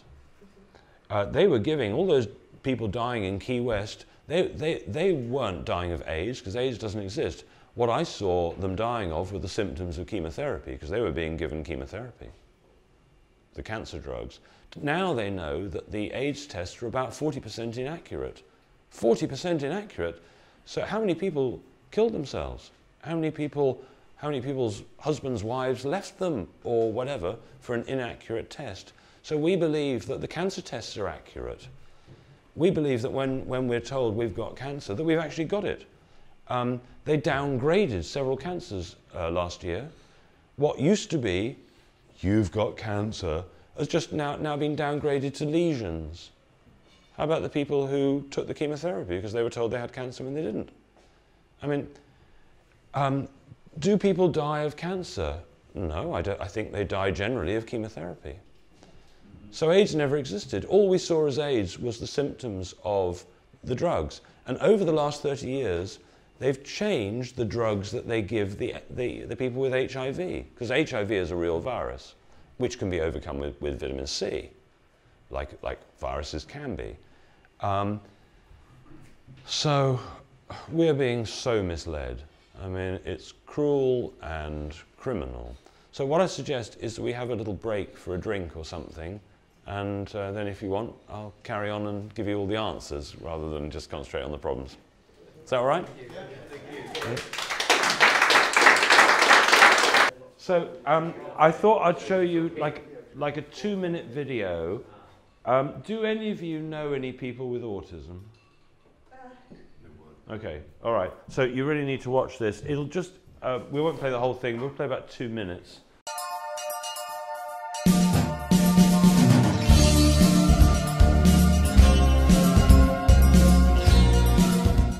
This is our timeline. February 28th, ketogenic diet. March 1st, Bravo yogurt. In just three days on those two things, we noticed increased eye contact. He was calmer. He would sit quietly for a TV show, which was out of the norm for him. In just one week, he was no longer wetting the bed. His belly bloating was gone. He was sleeping through the night, sitting still for meals, seeking out other activities, playing outside with other kids, and moving through his morning routine with just one verbal prompt. My husband and I were amazed. March 28th, introducing Rerum. The very next day, his speech therapist reported absolutely no need for redirection. He was calm, focused, increased social interaction with other kids, hand flapping was gone, no visual stimming, um, had markedly increased core strength, and will now jump on a trampoline the way a typical child does. So these are the beautiful things we are seeing with our wonderful son. Improved reading skill, new language, generating his own ideas, relaxed and calm, no more bedwetting, improved social interaction, initiating his own responsibilities, and articulation of internal healing. So, my mantra for the past nine years has been faith, hope, recovery. I'm adding in the, the knowledge piece, which so it's now faith, hope, knowledge, recovery. Um, recovery is what we're seeing happening before our eyes every day. Each and every day, Ben does something a little bit different, a little bit more typical. Just yesterday, I received a text from my therapy worker that says, Ben's friend asked, Where is Heidi? Ben chimed in, Yeah, where is Heidi? The therapist asked Ben, Who is Heidi? And Ben replies, She is my angel. She is my mom. And then the text read on to say, This was the cutest thing I've ever heard him say, and it made me tear up. He is so happy. Get the impression. So that was the ketogenic diet, Bravo and Rerum. So the ketogenic diet is essentially cutting out grains and starchy vegetables and the very sweet fruits. What would you call a star? Which, can you name a few starchy veg- vegetables? Potatoes, Yeah. sweet potatoes. Okay. Um, On all sweet. well, uh, the berries are the best. Um, things like melon, pineapple tend to be very sweet. Um, but but, but it, it, it, it depends what, what you're trying to do. You know, the, the, the ketogenic diet is variable depending on what issue one is trying, trying to sort, sort through. Yeah. Does quinoa fall somewhere good, or is that bad? Well, the problem with both quinoa and amaranth is that the South Americans, who, who it used to be the staple food, can't afford it anymore because the prices have gone up because we're eating it. They, It's morally bad, uh, yeah, some people say that one should avoid quinoa and amaranth as well, and other people say it's fine. I don't know. okay. Uh, Does butternut squash count as a starchy vegetable? Well, if you cooked it a lot, yes, because I mean, you know, you know, a- a- as you know, one of the things that with with cooking things a long time is they get very sweet. You know, aubergines can get very sweet. You know, anything can get very sweet if you cook it for a long time. So I think uh, the butternut squash probably, and again, I'm not really sure. Probably if you really cooked it a lot, but it depends what you're trying to do. If if you're diabetic and you're trying to avoid sweet things, yes, butternut squash cooked too long might be an issue but in other cases it might not be. Um, so, uh, it's important to understand that um, uh, autis- autism can generally be overcome. My favourite autism story of all time is Kerri Rivera. Kerri Rivera wrote the book Reversing the Symptoms Known as Autism, and how she reversed her son's autism. She was, uh, her son was eight by the time she realized that something could be done. And so she immediately took him off all grains, all grains, and she took him off all dairy. Now, as you probably know, autistic children generally tend to only eat grains and dairy. So after she'd removed grains and dairy from her son's diet, there was only one food left that he could eat, would eat, and that was chips. So for 10 days, he ate nothing but French fried potatoes. Obviously, they made them themselves at home. After three days on nothing but chips, he spoke. He hadn't spoken for eight years. So it wasn't that the answer was chips. The thing was, the answer was getting him off all grains and all dairy. Right? Who would have thought that on chips, you can cure autism with chips? I mean, it's just ridiculous. so, and that was spelled with a K. Um, so, what happens with autistic children? Well, they, they get heavy metal poisoning. Uh, you know, and the vaccines obviously are a huge part of that. Dr. Jeff Bradstreet, the one that shot himself and jumped off the bridge, he discovered that in Cuba they have a similar rate of um, vaccinations to here in England or America, but in Cuba they hardly have any autism at all. And he figured it out. In Cuba they don't have paracetamol. Right? Paracetamol is one of the triggers uh, and in England, in Europe, in America, the doctors actually advise that you give your baby paracetamol either prior to or at the time of the vaccination because it's going to be painful. And uh, so, not only that, but paracetamol um, is now shown to cut off empathy. People who are taking paracetamol do not feel empathy properly. Really unusual. Have they worked out why? I don't know. I don't know. But, you know, you, you see, even the most beneficial of drugs are going to have nasty effects. You know, there are almost no pharmaceutical drugs that have good effects. The only ones I know of that are really positive would include low dose naltrexone, Low dose nal- naltrexone is very, very interesting. Um, uh, piracetam. Piracetam is uh, a nootropic. Uh, nootropic means brain enhancer. Uh, the first ever brain enhancer, the first ever nootropic, was invented by Al- Albert Hofmann, the guy who discovered LSD. And Albert Hofmann was already very famous prior to discovering LSD because he'd made a nootropic uh, called, it'll come to me, uh, he, uh, Hydergine. That, this was over 60 years ago. Hydergine has no side effects, boosts brain function, and um, is still available today. No, this is a nootropic. It's a brain enhancer. How do you spell it? What, nootropic? Hy- hy- Hydergine, H Y D E R G I N E, hydergine. And, uh, but, but p- piracetam, piracetam is the one that most people go for if they want to boost their immune system.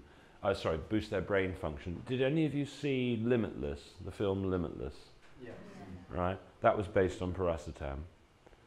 And um, so uh, I was thinking of selling piracetam. As soon as I f- found out about that, I thought, wow. But of course, like everything good, you can't get it in England. But you can. But you can. Um, the, uh, uh, what happens is that people will, will sell it out of Hong Kong. You see, there's so much post coming through Hong Kong that customs can't stop it. You know, because everything you buy on eBay virtually comes from Hong Kong. So um, a lot of these companies will sell it out of Hong Kong because they, there aren't enough customs to stop it. So uh, I'm not advising anything like this, of course. Um, there are some very interesting products out there, some very interesting products. There's something called aldosterone, like testosterone, aldosterone. Now, aldosterone is a, is a hormone, so it's not freely available, but it is available. And um, if people are losing their hearing, they can use it as an eardrop. Uh, you know, obviously, anything like this, you want professional advice.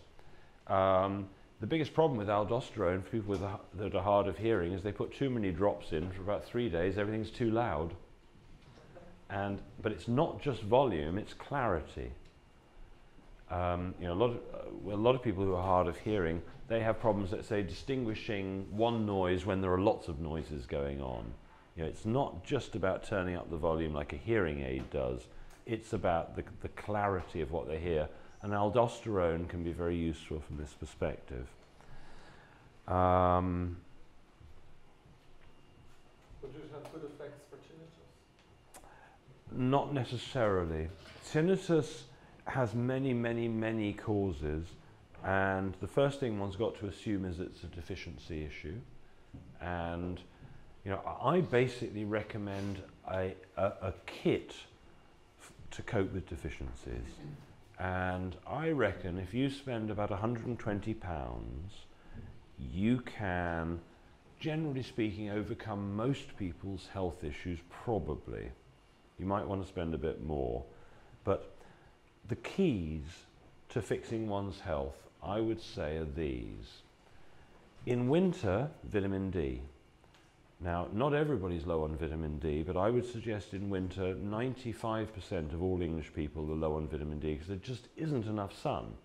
You remember that our ancestors here in England would have been outside a lot, right? They would have been looking after the food and wandering about looking for food. They would have been outside a lot. They would have been barefoot and they're catching lots of sunshine. So we're all vitamin D deficient, almost everybody. And anybody with dark skin, they've really got some problems going on. And Birmingham City Hospital for 30 pounds do a vitamin D test through the post. And it's worth take, using, doing that twice, taking it before you supplement, see how low you are, again, particularly in winter, and then supplementing for a month, and then doing another test and see whether you're supplementing enough, too little, too much, whatever. Most things you don't need to test, but vitamin D, it's very hard to tell by looking at somebody or asking them questions. But anybody who says whatever their problem is gets worse in winter, you can almost guarantee that it's vitamin D. So people who get sad in winter, people who lack energy in winter, that kind of thing. Yes. I have very, very severe stuff. And Well- I've only just flipped into summer mode. Right. So you want to be supplementing with vitamin D But in winter? been taking vitamin D Not enough then. Not enough. I mean, I, I personally find that I do well in winter taking once a week 50,000 IUs of vitamin D. That is way more than. Well, you see, doctors recommend 400. Uh, I gave my doctor, my doctor uh, said he'd got the flu. Many years ago. And I said, take 50,000 IUs of vitamin D all at once. He rings me back two and a half later, two and a half hours later, and says, my, my flu's gone. I don't think he really had flu, he had man flu. But, nevertheless, um, vitamin D can be so useful. The, the weird thing was, it was that same medical doctor who told me 10 years ago that I should be taking vitamin D. I used to get colds and flus every year, two or three times. Soon as I started taking vitamin D, I haven't had a cold or flu or a cough uh, in 10 years. Because that was it. You know, if you've got enough vitamin C, you've got enough zinc, you've got enough vitamin D, the chances are you're not going to get a cold. Very probably. Echinacea. That works for me. Yep. Echinacea is very good. Um, but again, if you know, you shouldn't need the echinacea. You know, there's a basic deficiency of either vitamin D or vitamin C or zinc or something, and probably the echinacea is providing one of those. But really, it's a dietary issue. Ah, that's very interesting. Because my daughter and I have found from experience that the very old-fashioned traditional methods of using remedy or elderflower for the colds and things works. But what you're saying, it must be elderflower must be providing zinc or Probably the vitamin C, I would think, maybe. elderflower tea. Yeah, well, I, I don't know. I, I don't know. I mean, your vitamins tend to be destroyed a bit by heat, whereas minerals are resistant to heat. So um, let me show you a couple of things which I think you might find interesting. The, the, the very first material that I ever put into a bottle was something called Fulvic Minerals. Uh, how many of you know about Fulvic? Four of you, five of you. Okay, so for those who don't know, fulvic minerals occur naturally in the soil everywhere. Yeah, we dig under this building, there will be fulvic and humic minerals in the soil underneath. And because they've destroyed the soils with modern agriculture, basically these fulvic minerals are what we're all missing. It's what should be in food and isn't. So 100 years ago, this would have been totally unnecessary. Nobody would have needed this because we'd be eating these materials all the time. So for myself, I was researching um, the survivors of cancer some years ago. What, I wanted to know what they did right. Why was it that they survived when 97% of people seem to die? And I was studying what the Chinese were doing, and I read about this material from the Chinese literature. They were using fulvic minerals a lot. And the results that I was reading about were almost unbelievably good. So I started sending off for fulvic minerals from suppliers around the world. And generally what arrived were big bottles. And I used to try it and I felt nothing. And I sent off for another bottle, I felt nothing and so on. Then one day a bottle a bit smaller than this turned up. And I tried it and the next morning, literally, I felt fabulous. I felt like 10 years had dropped off my body. You know, I was feeling my age, you might say. But the day after I'd taken this, my body felt so nice to be in. It, it was weird. And I, I'd n- never experienced anything like that before or since, actually. Anyway, so I was so impressed, I went out and bought gallons of the stuff and gave it to all my clients and all my friends. And the first time the phone rang was three days later. And this girl I knew who was three months pregnant rang me up and she said, You know, the morning sickness that I was getting, it has stopped. Now, I'm not saying this is the cure for morning sickness because it's not, but it was for her. It was for her. You know, when people are pregnant, they, some of them crave pickled onions, or they want to eat coal, or they want to eat soil, or whatever it is. And this is simple. Their bodies know at a very core level what they need, and coal, for instance, is full of minerals. You fancy a bit of coal? Oh, I loved it, yeah. If I had to have cheesecake, Yeah.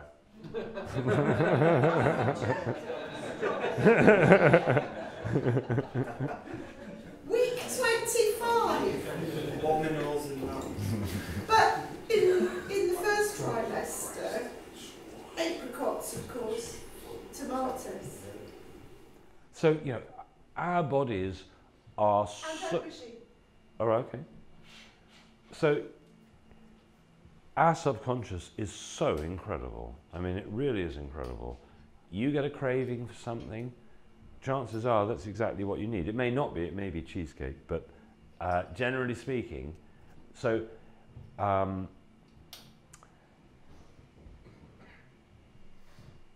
for anyone, they should assume that they're going to be low on the nutrients. You just might as well assume it these days. So by investing a bit of money in yourself and trying at least for a month to get every single nutrient and do a bit of a basic detox at the same time, you might be very surprised about how you feel. A lot of people that I say come off grains tell me they feel absolutely amazing and haven't felt that energetic for 20 years. You know, the grains are really damaging people much more than, more than they realize. But the problem is that most people are addicted to the grains. I mean, really addicted. All of them rice, barley, rye. Uh, no, not pulses necessarily. Not pulses necessarily. But the ketogenic diet would, wouldn't have you eat too many pulses. However, um, um, sorry, I lost where I was going with that. Sorry, I No, no, no. Train of thought. Um, You were saying for a month, try and make sure you get the nutrients and do a bit of a detox. yes. And then you start with detailing. Okay. So what you need is the fulvic minerals, which gives you at least 70 of the trace elements. Now, you might have a good multi-mineral, and a multi-mineral uh, might have uh, maybe 20 things. It might have zinc and selenium and all the good stuff, but most of them don't have the trace elements in. And th th this is an incredible supplement that I take myself, but this is a multi-nutrient made by Dr. Mercola, and it's um, all natural. It's got such an ingredients list you wouldn't believe, but you've got to take eight of these a day, right? Eight any multi-nutrient that really doesn't have eight in it probably isn't enough. I know, I know it's a lot, but you want to be really well, really, really well. This is the sort of level you've got to go to to be really well. Now, this one, this is super important. This is iodine. Now, uh, there are various types of iodine out there. This one is called Lugols, L-U-G-O-L-S, invented by Professor Lugol about 100 years ago. And this is pure elemental iodine and potassium iodide. Potassium iodide is what they give the troops when they go into an atomic area, nuclear radiation. So, do we have to worry about nuclear radiation? Oh, yes, we do. Unfortunately, there is radioactive iodine from Fukushima and Sellafield and all the rest of them floating around right now. But do you have to be worried about radiation? No if you have all the nutrients you need, particularly iodine, there is nowhere for radiation to go. If your iodine receptors are full of iodine, the radioactive stuff has no home. It just floats on by. So what happens if a woman is low on iodine and they're pregnant? Well, the, child will be born with a low IQ if the woman is chronically low on iodine, there's a medical term for that, the child will be born a cretin, you know, mentally deficient. So if you want a high IQ for your child, you want to make sure you've got enough iodine in you. And if you're, if you are you, you want to make sure you've got enough iodine in you. Um, how many people walk into a room and forget why they walked in? Okay. All right, that's virtually everybody. Um, in two months, three months from now, that won't happen anymore. You'll walk into a room and, and remember why you walked in. How many people, um, if they didn't have a special place, would forget where their car keys are? A few. Okay. Um, this iodine lifts brain fog. There are many people who recognize the term brain fog. And you need to take it for two or three months, and you need to take the right amount, but you'll get your brain back. How did you spell the Lugols?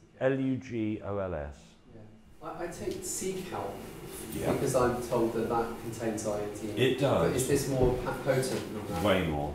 Right. Yeah, if you want to take a meaningful dose of kelp, really, you, you're probably talking about six tablespoonfuls of it. It's Right. just. But also that has potassium iodide, which takes the radiation out, whereas sea kelp tablets don't. Right? I don't know. I'm not sure. Um, so, okay, let's look at the symptoms of iodine. Uh, sorry, let's look at the symptoms of fluoride poisoning. They are identical to a deficiency of iodine. Uh, so let, let's explain the halides. The halides are iodine, which is the good guy, and then the bad guys, chlorine, bromine, fluoride. Okay? Um, those last three are a smaller atomic size than, than iodine. So, so it, if you've got fluoride, bromine, or chlorine, they get in where the iodine ought to be and displace the iodine. So, uh, let me put this in clearer perspective. In Japan, less than 10% of women at menopause report hot flushes. In England, over 90% of women at menopause report hot flushes. Japanese women hardly ever get breast cancer. English women do. It's the iodine. They're eating so much seaweed and so much fish, they get all the iodine they could possibly want, and they hardly have any thyroid problems. Thyroid problems are epidemic in England right now. It's because of the chlorine, the bromine, and the fluoride. So if you're using fluoride toothpaste, throw it away. Um, don't use it because fluoride is a desperately dangerous neurotoxin and you don't want it. What about swimming pool? You don't want, you don't want to swim in a swimming pool. If you did, you'd want to take a lot of iodine before you did it to make sure your iodine receptors were as full as possible. Um, I'm afraid, you know, we're being poisoned. We are being poisoned, and chlorine is very, very dangerous. Bromine in flour improver is dangerous, and fluoride is very dangerous. And the problem is, if you're in a city, then you've really got to worry because, well, not worry. You've got to be, you've got to be aware. In the city, if you're drinking recycled sewage water, if you're bathing in recycled sewage water, you are getting everybody's Viagra, Prozac, antibiotics, birth control, you name it. And every time it goes round the sewage works, it's getting stronger and stronger and stronger. And most people are poisoned with secondhand drugs. It's a real issue. So how are you going to deal with your water? The cheapest way is to buy an ozone generator. 20 quid on eBay or somewhere, you can buy an ozone generator. Now you have to be careful because you don't want to breathe too much ozone because it's irritating to the lungs. But you can bubble ozone through water for a minute and completely neutralize all the chemicals in it with the exception of fluoride. Fluoride you have to deal with differently. How you deal with fluoride is with something called borax. Borax contains the mineral boron and borax our ancestors knew borax, they added it in their washing uh, to, to, to clean things. Now, borax, if you put a pinch in a litre of water or a teaspoonful in the bath, it will neutralize fluoride. Now, borax is very interesting indeed, or boron is very interesting indeed. The country with the highest arthritis rate on the planet is Jamaica. And even the dogs limp in Jamaica, apparently. And the reason is that they planted sugar, sugarcane all over the island. Sugarcane stripped the mineral boron from the soil.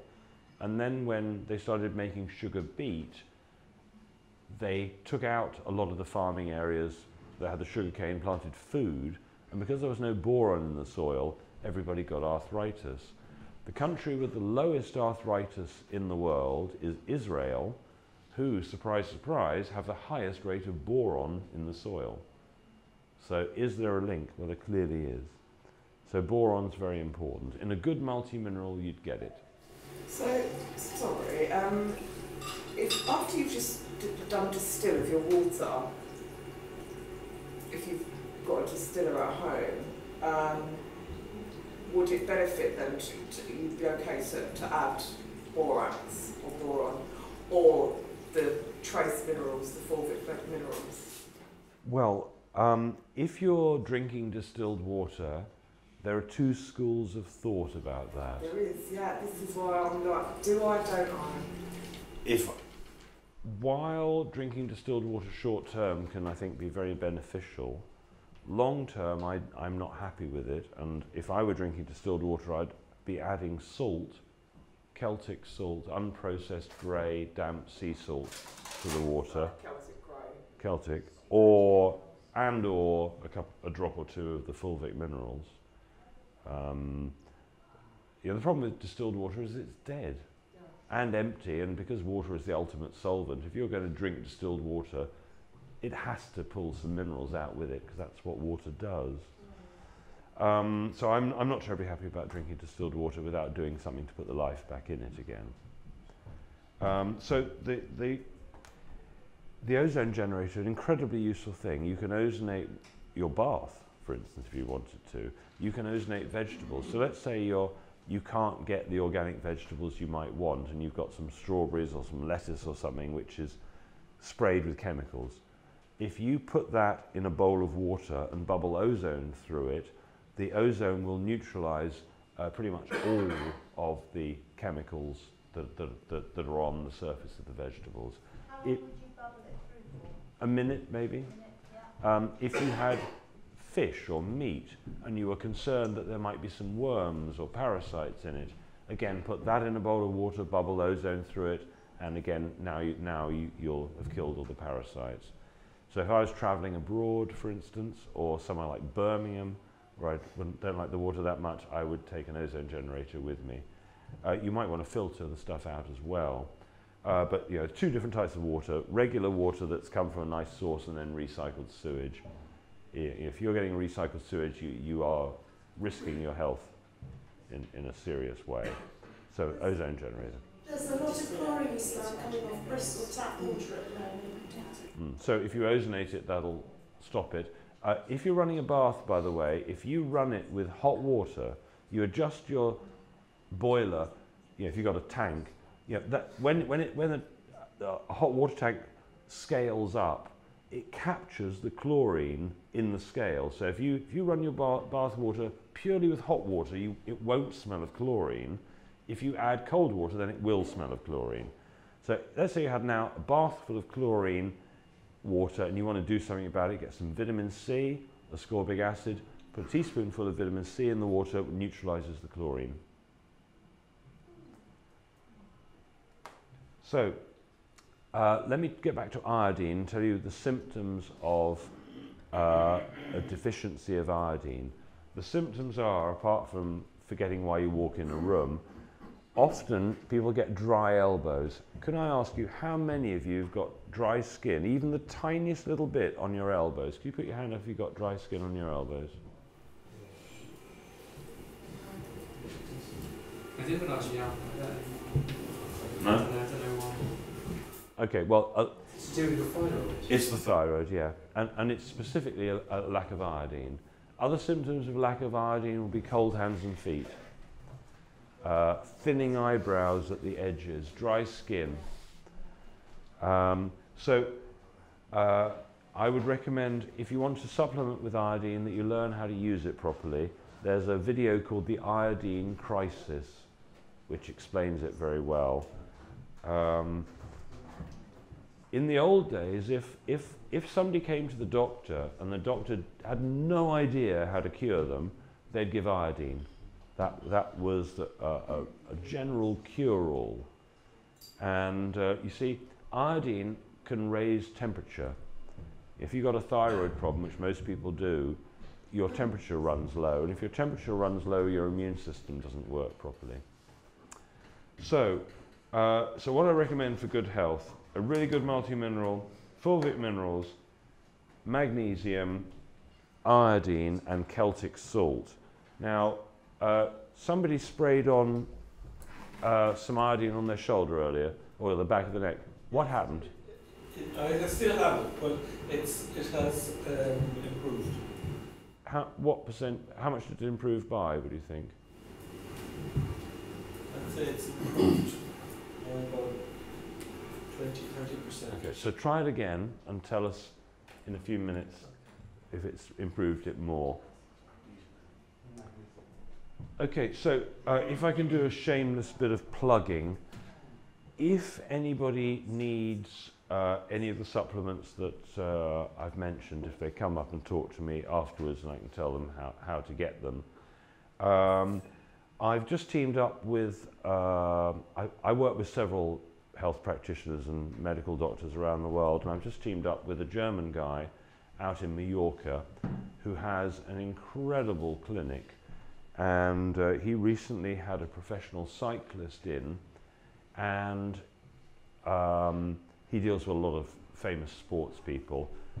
And the cyclist, like his clients, had 10 sessions with him over a 10 day period. And these sessions involve using advanced oxygen techniques because we're all incredibly low on oxygen. And uh, this guy, he was running between 180th in the world as a professional cyclist to 150th in the world. After 10 treatments, he did five stages in the top 10 in a row. So um, you see the oxygen thing. I mentioned earlier how a, a normal cell becomes cancerous if you deprive it of oxygen. We are deprived of oxygen. a few hundred years ago, and they know this from measuring oxygen trapped in amber and things, there was about 40% oxygen in the, in, in the world. Then they cut down all the trees, you know, 99% of the English trees are gone. So we're now down to about 20%, 19% oxygen, something like that in the world, depending on how humid it is. The more humid, the less oxygen. So um, uh, if you can get more oxygen into your body, are you going to be fitter, stronger, healthier? Yes, you are. Um, do any of you know about the Iceman? Yeah. Um, Hof. Yeah. Wim Hof. So if, if any of you don't know about Wim Hof, um, most people can hold their breath for what, 30 seconds or something like that? You do three minutes of Wim Hof's breathing technique, which is very simple. It's hyperventilation, you just like that. 30 repetitions of that, preferably sitting down. And let's say you can hold your breath for 30 seconds. You, you breathe like that, you'll be able to hold your breath for double. Let's say you can do 10 press ups. Without breathing, you'll now be able to do 20 press ups. You can get so much oxygen into your bloodstream in three minutes that you can hold your breath for twice as long, do twice as much exercise without breathing. Because we can supercharge ourselves with oxygen, which is how we're meant to be. We're meant to be stronger than we are. Right? Check out Wim Hof. Unbelievable. He, he teaches how to do it, and there are lots of, lots of the instructions on the video, some, some of the basic breathing techniques. Um, he can do things like um, be naked, at, well, he's climbed Everest in shorts, right? Because once you, once you realize what you can do by breathing, uh, you're not affected by, by cold in the way that you used to be. You know, it, uh, he's, he's climbed into um, chambers of ice uh, for long periods of time. And they he did a marathon in his shorts in the, in the middle of the Antarctica. He'd never done a marathon before, and he just did it. Yeah, yeah.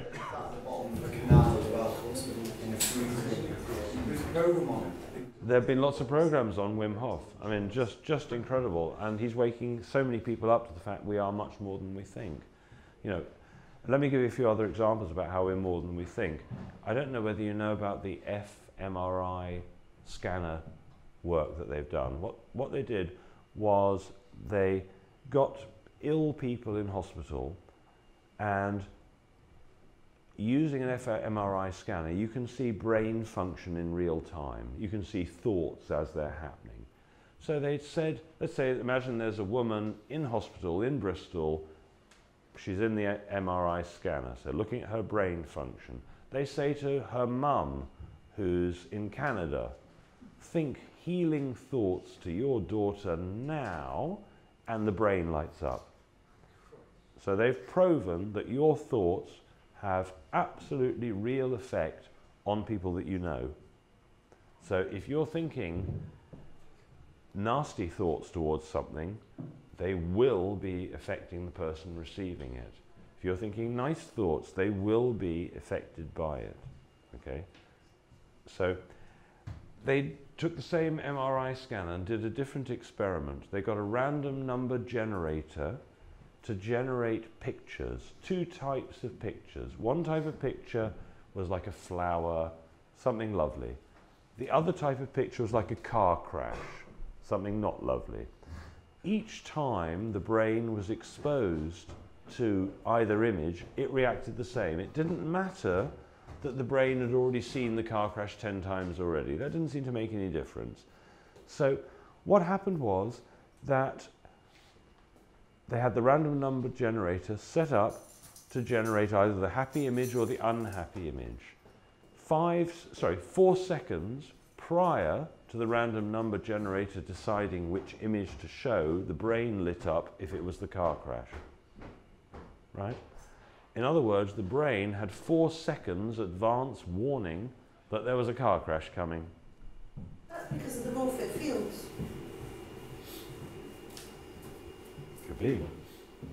So, and the time varied depending on what was going on. How many of you have had time slow down? Any of you had time slow down? Yes. Yeah? So a third of you. Yeah? I remember um, uh, funny enough, BBC of all people, but they did a programme once um, on seven seconds before they tested and um, luckily online still. So people seem to know what's going to happen seven seconds. Yeah, it depends on the seriousness, it turns out, as to how, how long you have in advance. And uh, you know, for those who've had time slow down, there are, all, yeah, it, it's clear that we are totally connected to everything, and you know, we, we can pick up on whatever we choose to pick up on, um, essentially. Uh, so, uh, if any of you want to buy any of the supplements that I've got, I've got a huge pile of them. If any of you um, want to have a personal consultation, I like to spend an hour or two with people, and generally speaking, I can get to the bottom of, of most people's issues, generally speaking. Uh, if you want to come to Mallorca and experience the rejuvenation techniques we've got going over there, we've got everything from stem cells to um, these oxygen treatments. Uh, they're not for the poor, you know, unfortunately. Um, I also put on longer courses, uh, day, day courses where I teach things like uh, self-hypnosis and uh, the sort of thing we're doing now, but in much more depth. Uh, you've been on one, Kai. What did you think? Yeah, fantastic. Yeah, the, the whole weekend in your house.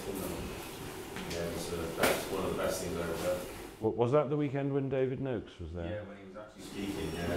So I was there that weekend. And I uh, purchased the pain genie. Like, oh, we had a load of vitamins and minerals anyway. So. And tell people how you got on with the pain genie, for instance. Yeah, it was fantastic. I mean, I don't need to use it. So, not now. so I had a lot of problems with my knee. Being a builder, I had a lot of problems with my knees, my back, um, neck. The neck would grind in the jaw. You know, a lot of things that you taught me as well. Um, but uh, yeah, all that's gone now. Right, cool. Just, just playing about with it, not really knowing the exact science, but just using my intuition where the pain was, what I had to set it at. You can feel it. Right, very good. Uh, any questions anybody's got? Yeah. Do you think it'd be beneficial for me to speak to you about my wife, Sarah, who, um, I'll just tell you a quick, quick story. Um, she's 42, and at the age of 18, she went on holiday with friends and got bit by a tick, which um, caused Lyme's disease. Um, and now she has MS. And there is a, I've heard there is a connection with that. Um, the gentleman who founded Carphone Warehouse, his son is really ill due to a tick. Um, um, neurologically again, a problem, and he's bedbound, been bedbound for about 10, well, really 10 years. Wow. Um, and yeah, so Sarah is, um, she hasn't deteriorated because I've listened to my brother who knows a lot about what you, you know, you've been talking about. But, um, Is she still walking? she's still walking, but um, aided slightly, you know, yeah. But uh, Was she a person who tried to stay out of the sunshine? not really. Um, I would say um, you hit on one of the notes about drinking water. She never drank any water, ever. You know, just really, you know, um, I'm thinking of her father the same, doesn't drink any water, but she does now, obviously. But uh, yeah, um, you know, there is a big connect. We think there's a big connection with that tick, which causes Lyme's disease. And did she actually see the tick? Uh, well, Did, is she sure there was a tick? Yes, because I think when, when she, she went to the hospital, they actually said it is a, is a tick bite which caused the Lyme disease because a stray dog went into her bed in Greece, um, stepped in her bed while they, they, they weren't aware, and the next morning, um, you know, all the symptoms were there of Lyme disease. And, I see, okay. Yeah. Um, Well, um, there are a number of things that can be done about Lyme. One of the ones that's having huge effect with Lyme actually is the rerum. Um, but it's something that one would need a, a really long consult, well, a, a decent consultation with to ask her a whole load of questions to find out. I wouldn't want to give any false hope, but a lot of people are getting recovery from Lyme. With MS, um, of course, she may have symptoms similar to that. Doesn't mean she's got MS. Um, you know, MS and Parkinson's are very difficult once people are in the wheelchair, and even more difficult once they're lying in bed. But when they're still standing, there's usually uh, quite a lot of hope. Um, so, yeah, I'll be, She I'll be deteriorated for like 10 years. You know, she's been stable. Oh, well, that's good. Yeah, and um, yeah, so. So I, mean, I, I, w- I would be looking at heavy metal poisoning and, and trying to get heavy metals out as one thing. Might do a hair mineral analysis to see what's going on there. You know, a number of things that could be done. Yeah. I think so, yeah. Okay, great. Any other questions? Um, yeah, I'm trying to detox my son at the moment. Uh, vaccine damage. Um, so the heavy metal um, poisoning. Uh, just really want some advice on, on which on how to about it. Okay, what- I've what- started already. What have you tried so far? So I'm doing the gentle uh, bentonite clay um, baths with uh, coriander oil, frankincense, and chrysin. Um, I've stopped using, you know, I've got distiller now. Um, using organic when possible. Um, I don't really know anything Uh, much cl- more. chlorella? Yeah, I d- yeah, yeah, sorry. Yeah, I forgot to mention chlorella.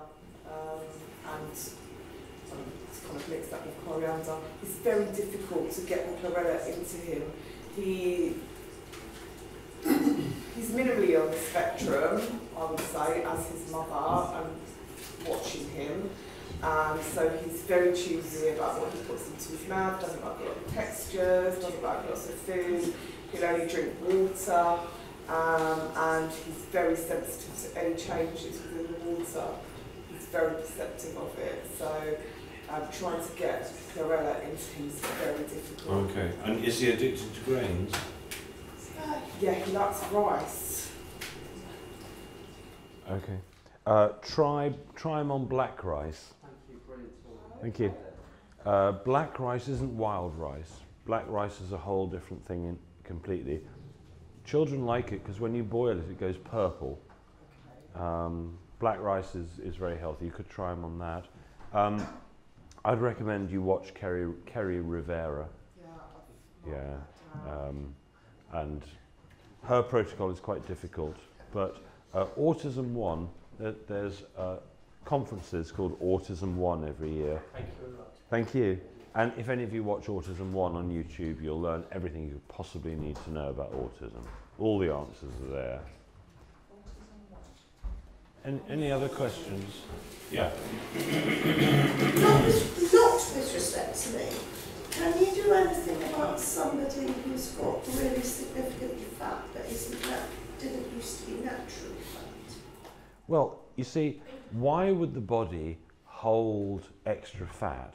Well, if, you, if you've got a toxic load, and it could be from shampoo, it could be from food, it could be from whatever, and the body can't get rid of those toxins, where, where, where is it going to put them? Well, it wouldn't want it on the brain, wouldn't want the toxins in the heart or the essential organs. So where's left? Well, there's the bones, probably wouldn't want them there. So the body parks toxins in fat. Doesn't it poo them away? Well, you see, many of the toxins we're, we're getting now are chemicals which the body doesn't know how to get rid of. Oh. You know, we've got them in, it, it's got no mechanism to get them out. So it's got no choice but to store them in fat. So when people do a detox, quite often the fat goes. But you've got to be clever doing a detox, so you don't want to get rid of the fat and then release those toxins back into the bloodstream again, you'll feel ill. So I would say that's probably one of the big reasons why people are carrying too much weight. The other one is going back to the beginning of where we started, that they've changed grains so much that they are making people fat now. You know, I mean, there's no question that a ketogenic diet, where people come off all grains and all starchy carbohydrates, they lose weight like nobody's business. You know, and I mean, it didn't used to, you know, you look at a picture of a high street, Bristol High Street, so to speak, 40, 50 years ago, there were no fat people. You know, in the Victorian times, the, at, at the circus, the, the, the, the freak would be the fat woman who now we'd consider isn't that bad. So, uh, yeah, we're Do you think the body's generating fat in order to set, store toxins? Yeah, safely to say. You, the body would never do anything wrong. You know, the doctors are taught, your body goes wrong. You're a clever doctor, you can do something about it. I don't believe for one second your body ever goes wrong. Your body just adapts to a circumstance. Uh, I mean, look, look at quite a few cancerous tumours, for instance. Uh, very often, uh, you see this with breast cancer. If the, if the person lives long enough, the cancer breaks through the surface of the breast and it will actually drop out. The body, the body does whatever it can to expel tox. It'll either lock them up or it'll try to expel them. And you see, the problem is that doctors do biopsies. A tumour has about seven protective layers around it. It's encapsulated. But if a doctor shoves a sharp biopsy needle in there, goes through all the seven layers and releases the cancer into the bloodstream and metastasizes it. You know, unfortunately, many of the medical procedures, which are just normal, are massively dangerous. Having a biopsy is a terribly stupid thing to do. I'm afraid it is. So in terms of getting a consultation with you, do you, are you contactable through?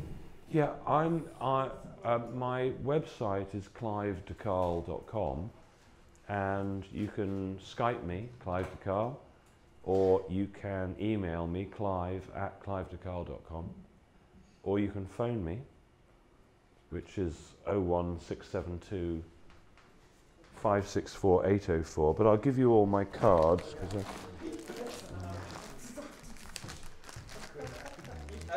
so perhaps you could pass, pass you those around.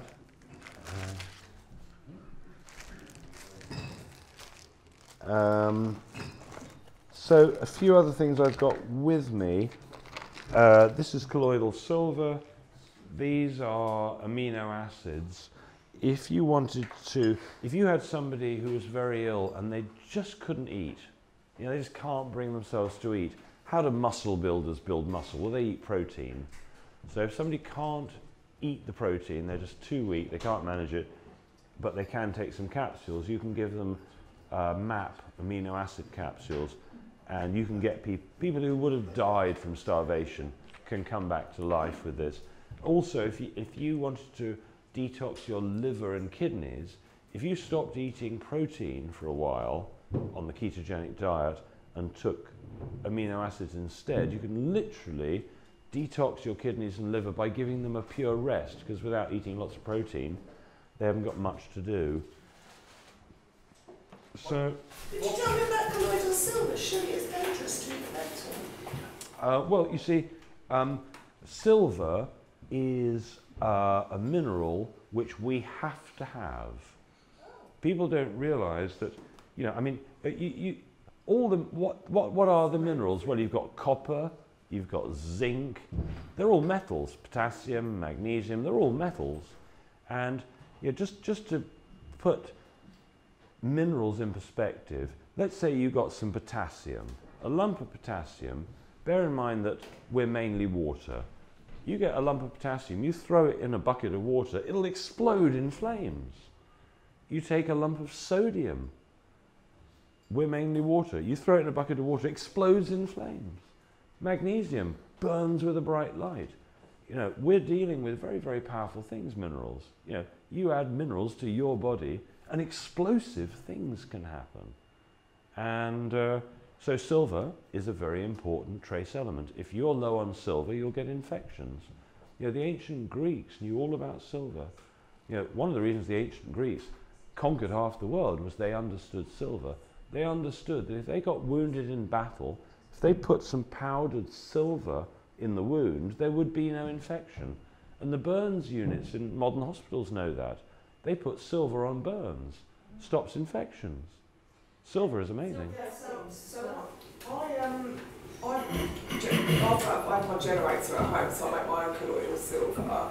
Um, but I do worry about consuming too much, so I'm going to stick to it when um, I can feel myself getting ill, or I can sense that my son's coming down with an infection or virus, um, and normally just kind of like use it for sort of two to three days.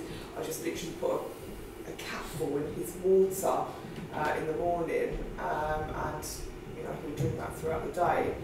Um, can I? i- i- Is that okay, or is that too If much? you're no, if you're making 10 parts per million Yeah. colloidal silver, and assuming that you're you've got a diet which does involve some probiotic foods, you know. Yeah. Well, I give him probiotics. Okay, so so then you should be all right. I've had people in hospital ring me up and say, they, I need an operation. They can't do the operation because I've got an infection. I've sent them in a litre and a half of colloidal silver, 10 parts per million, because it looks like water, so the hospital doesn't complain. They've drunk a litre and a half or even two litres, and I've had several people ring me up and say, not only has the infection gone, but they told me I don't need the operation. I've had so many people with cats and dogs who said, well, the vet said that it would have to be put down. I gave it colloidal silver in the water, it lapped it up and is, uh, and is fine now. I worry about is it the uh, Argyria? Argyria? The, the, the turning grey thing. Yeah.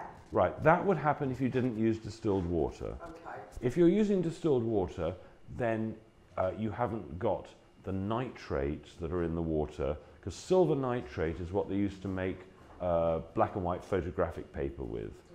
So if you made colloidal silver with tap water, yes, you could get Argyria and turn grey. But it doesn't happen if you make it properly. So I could essentially just have bits.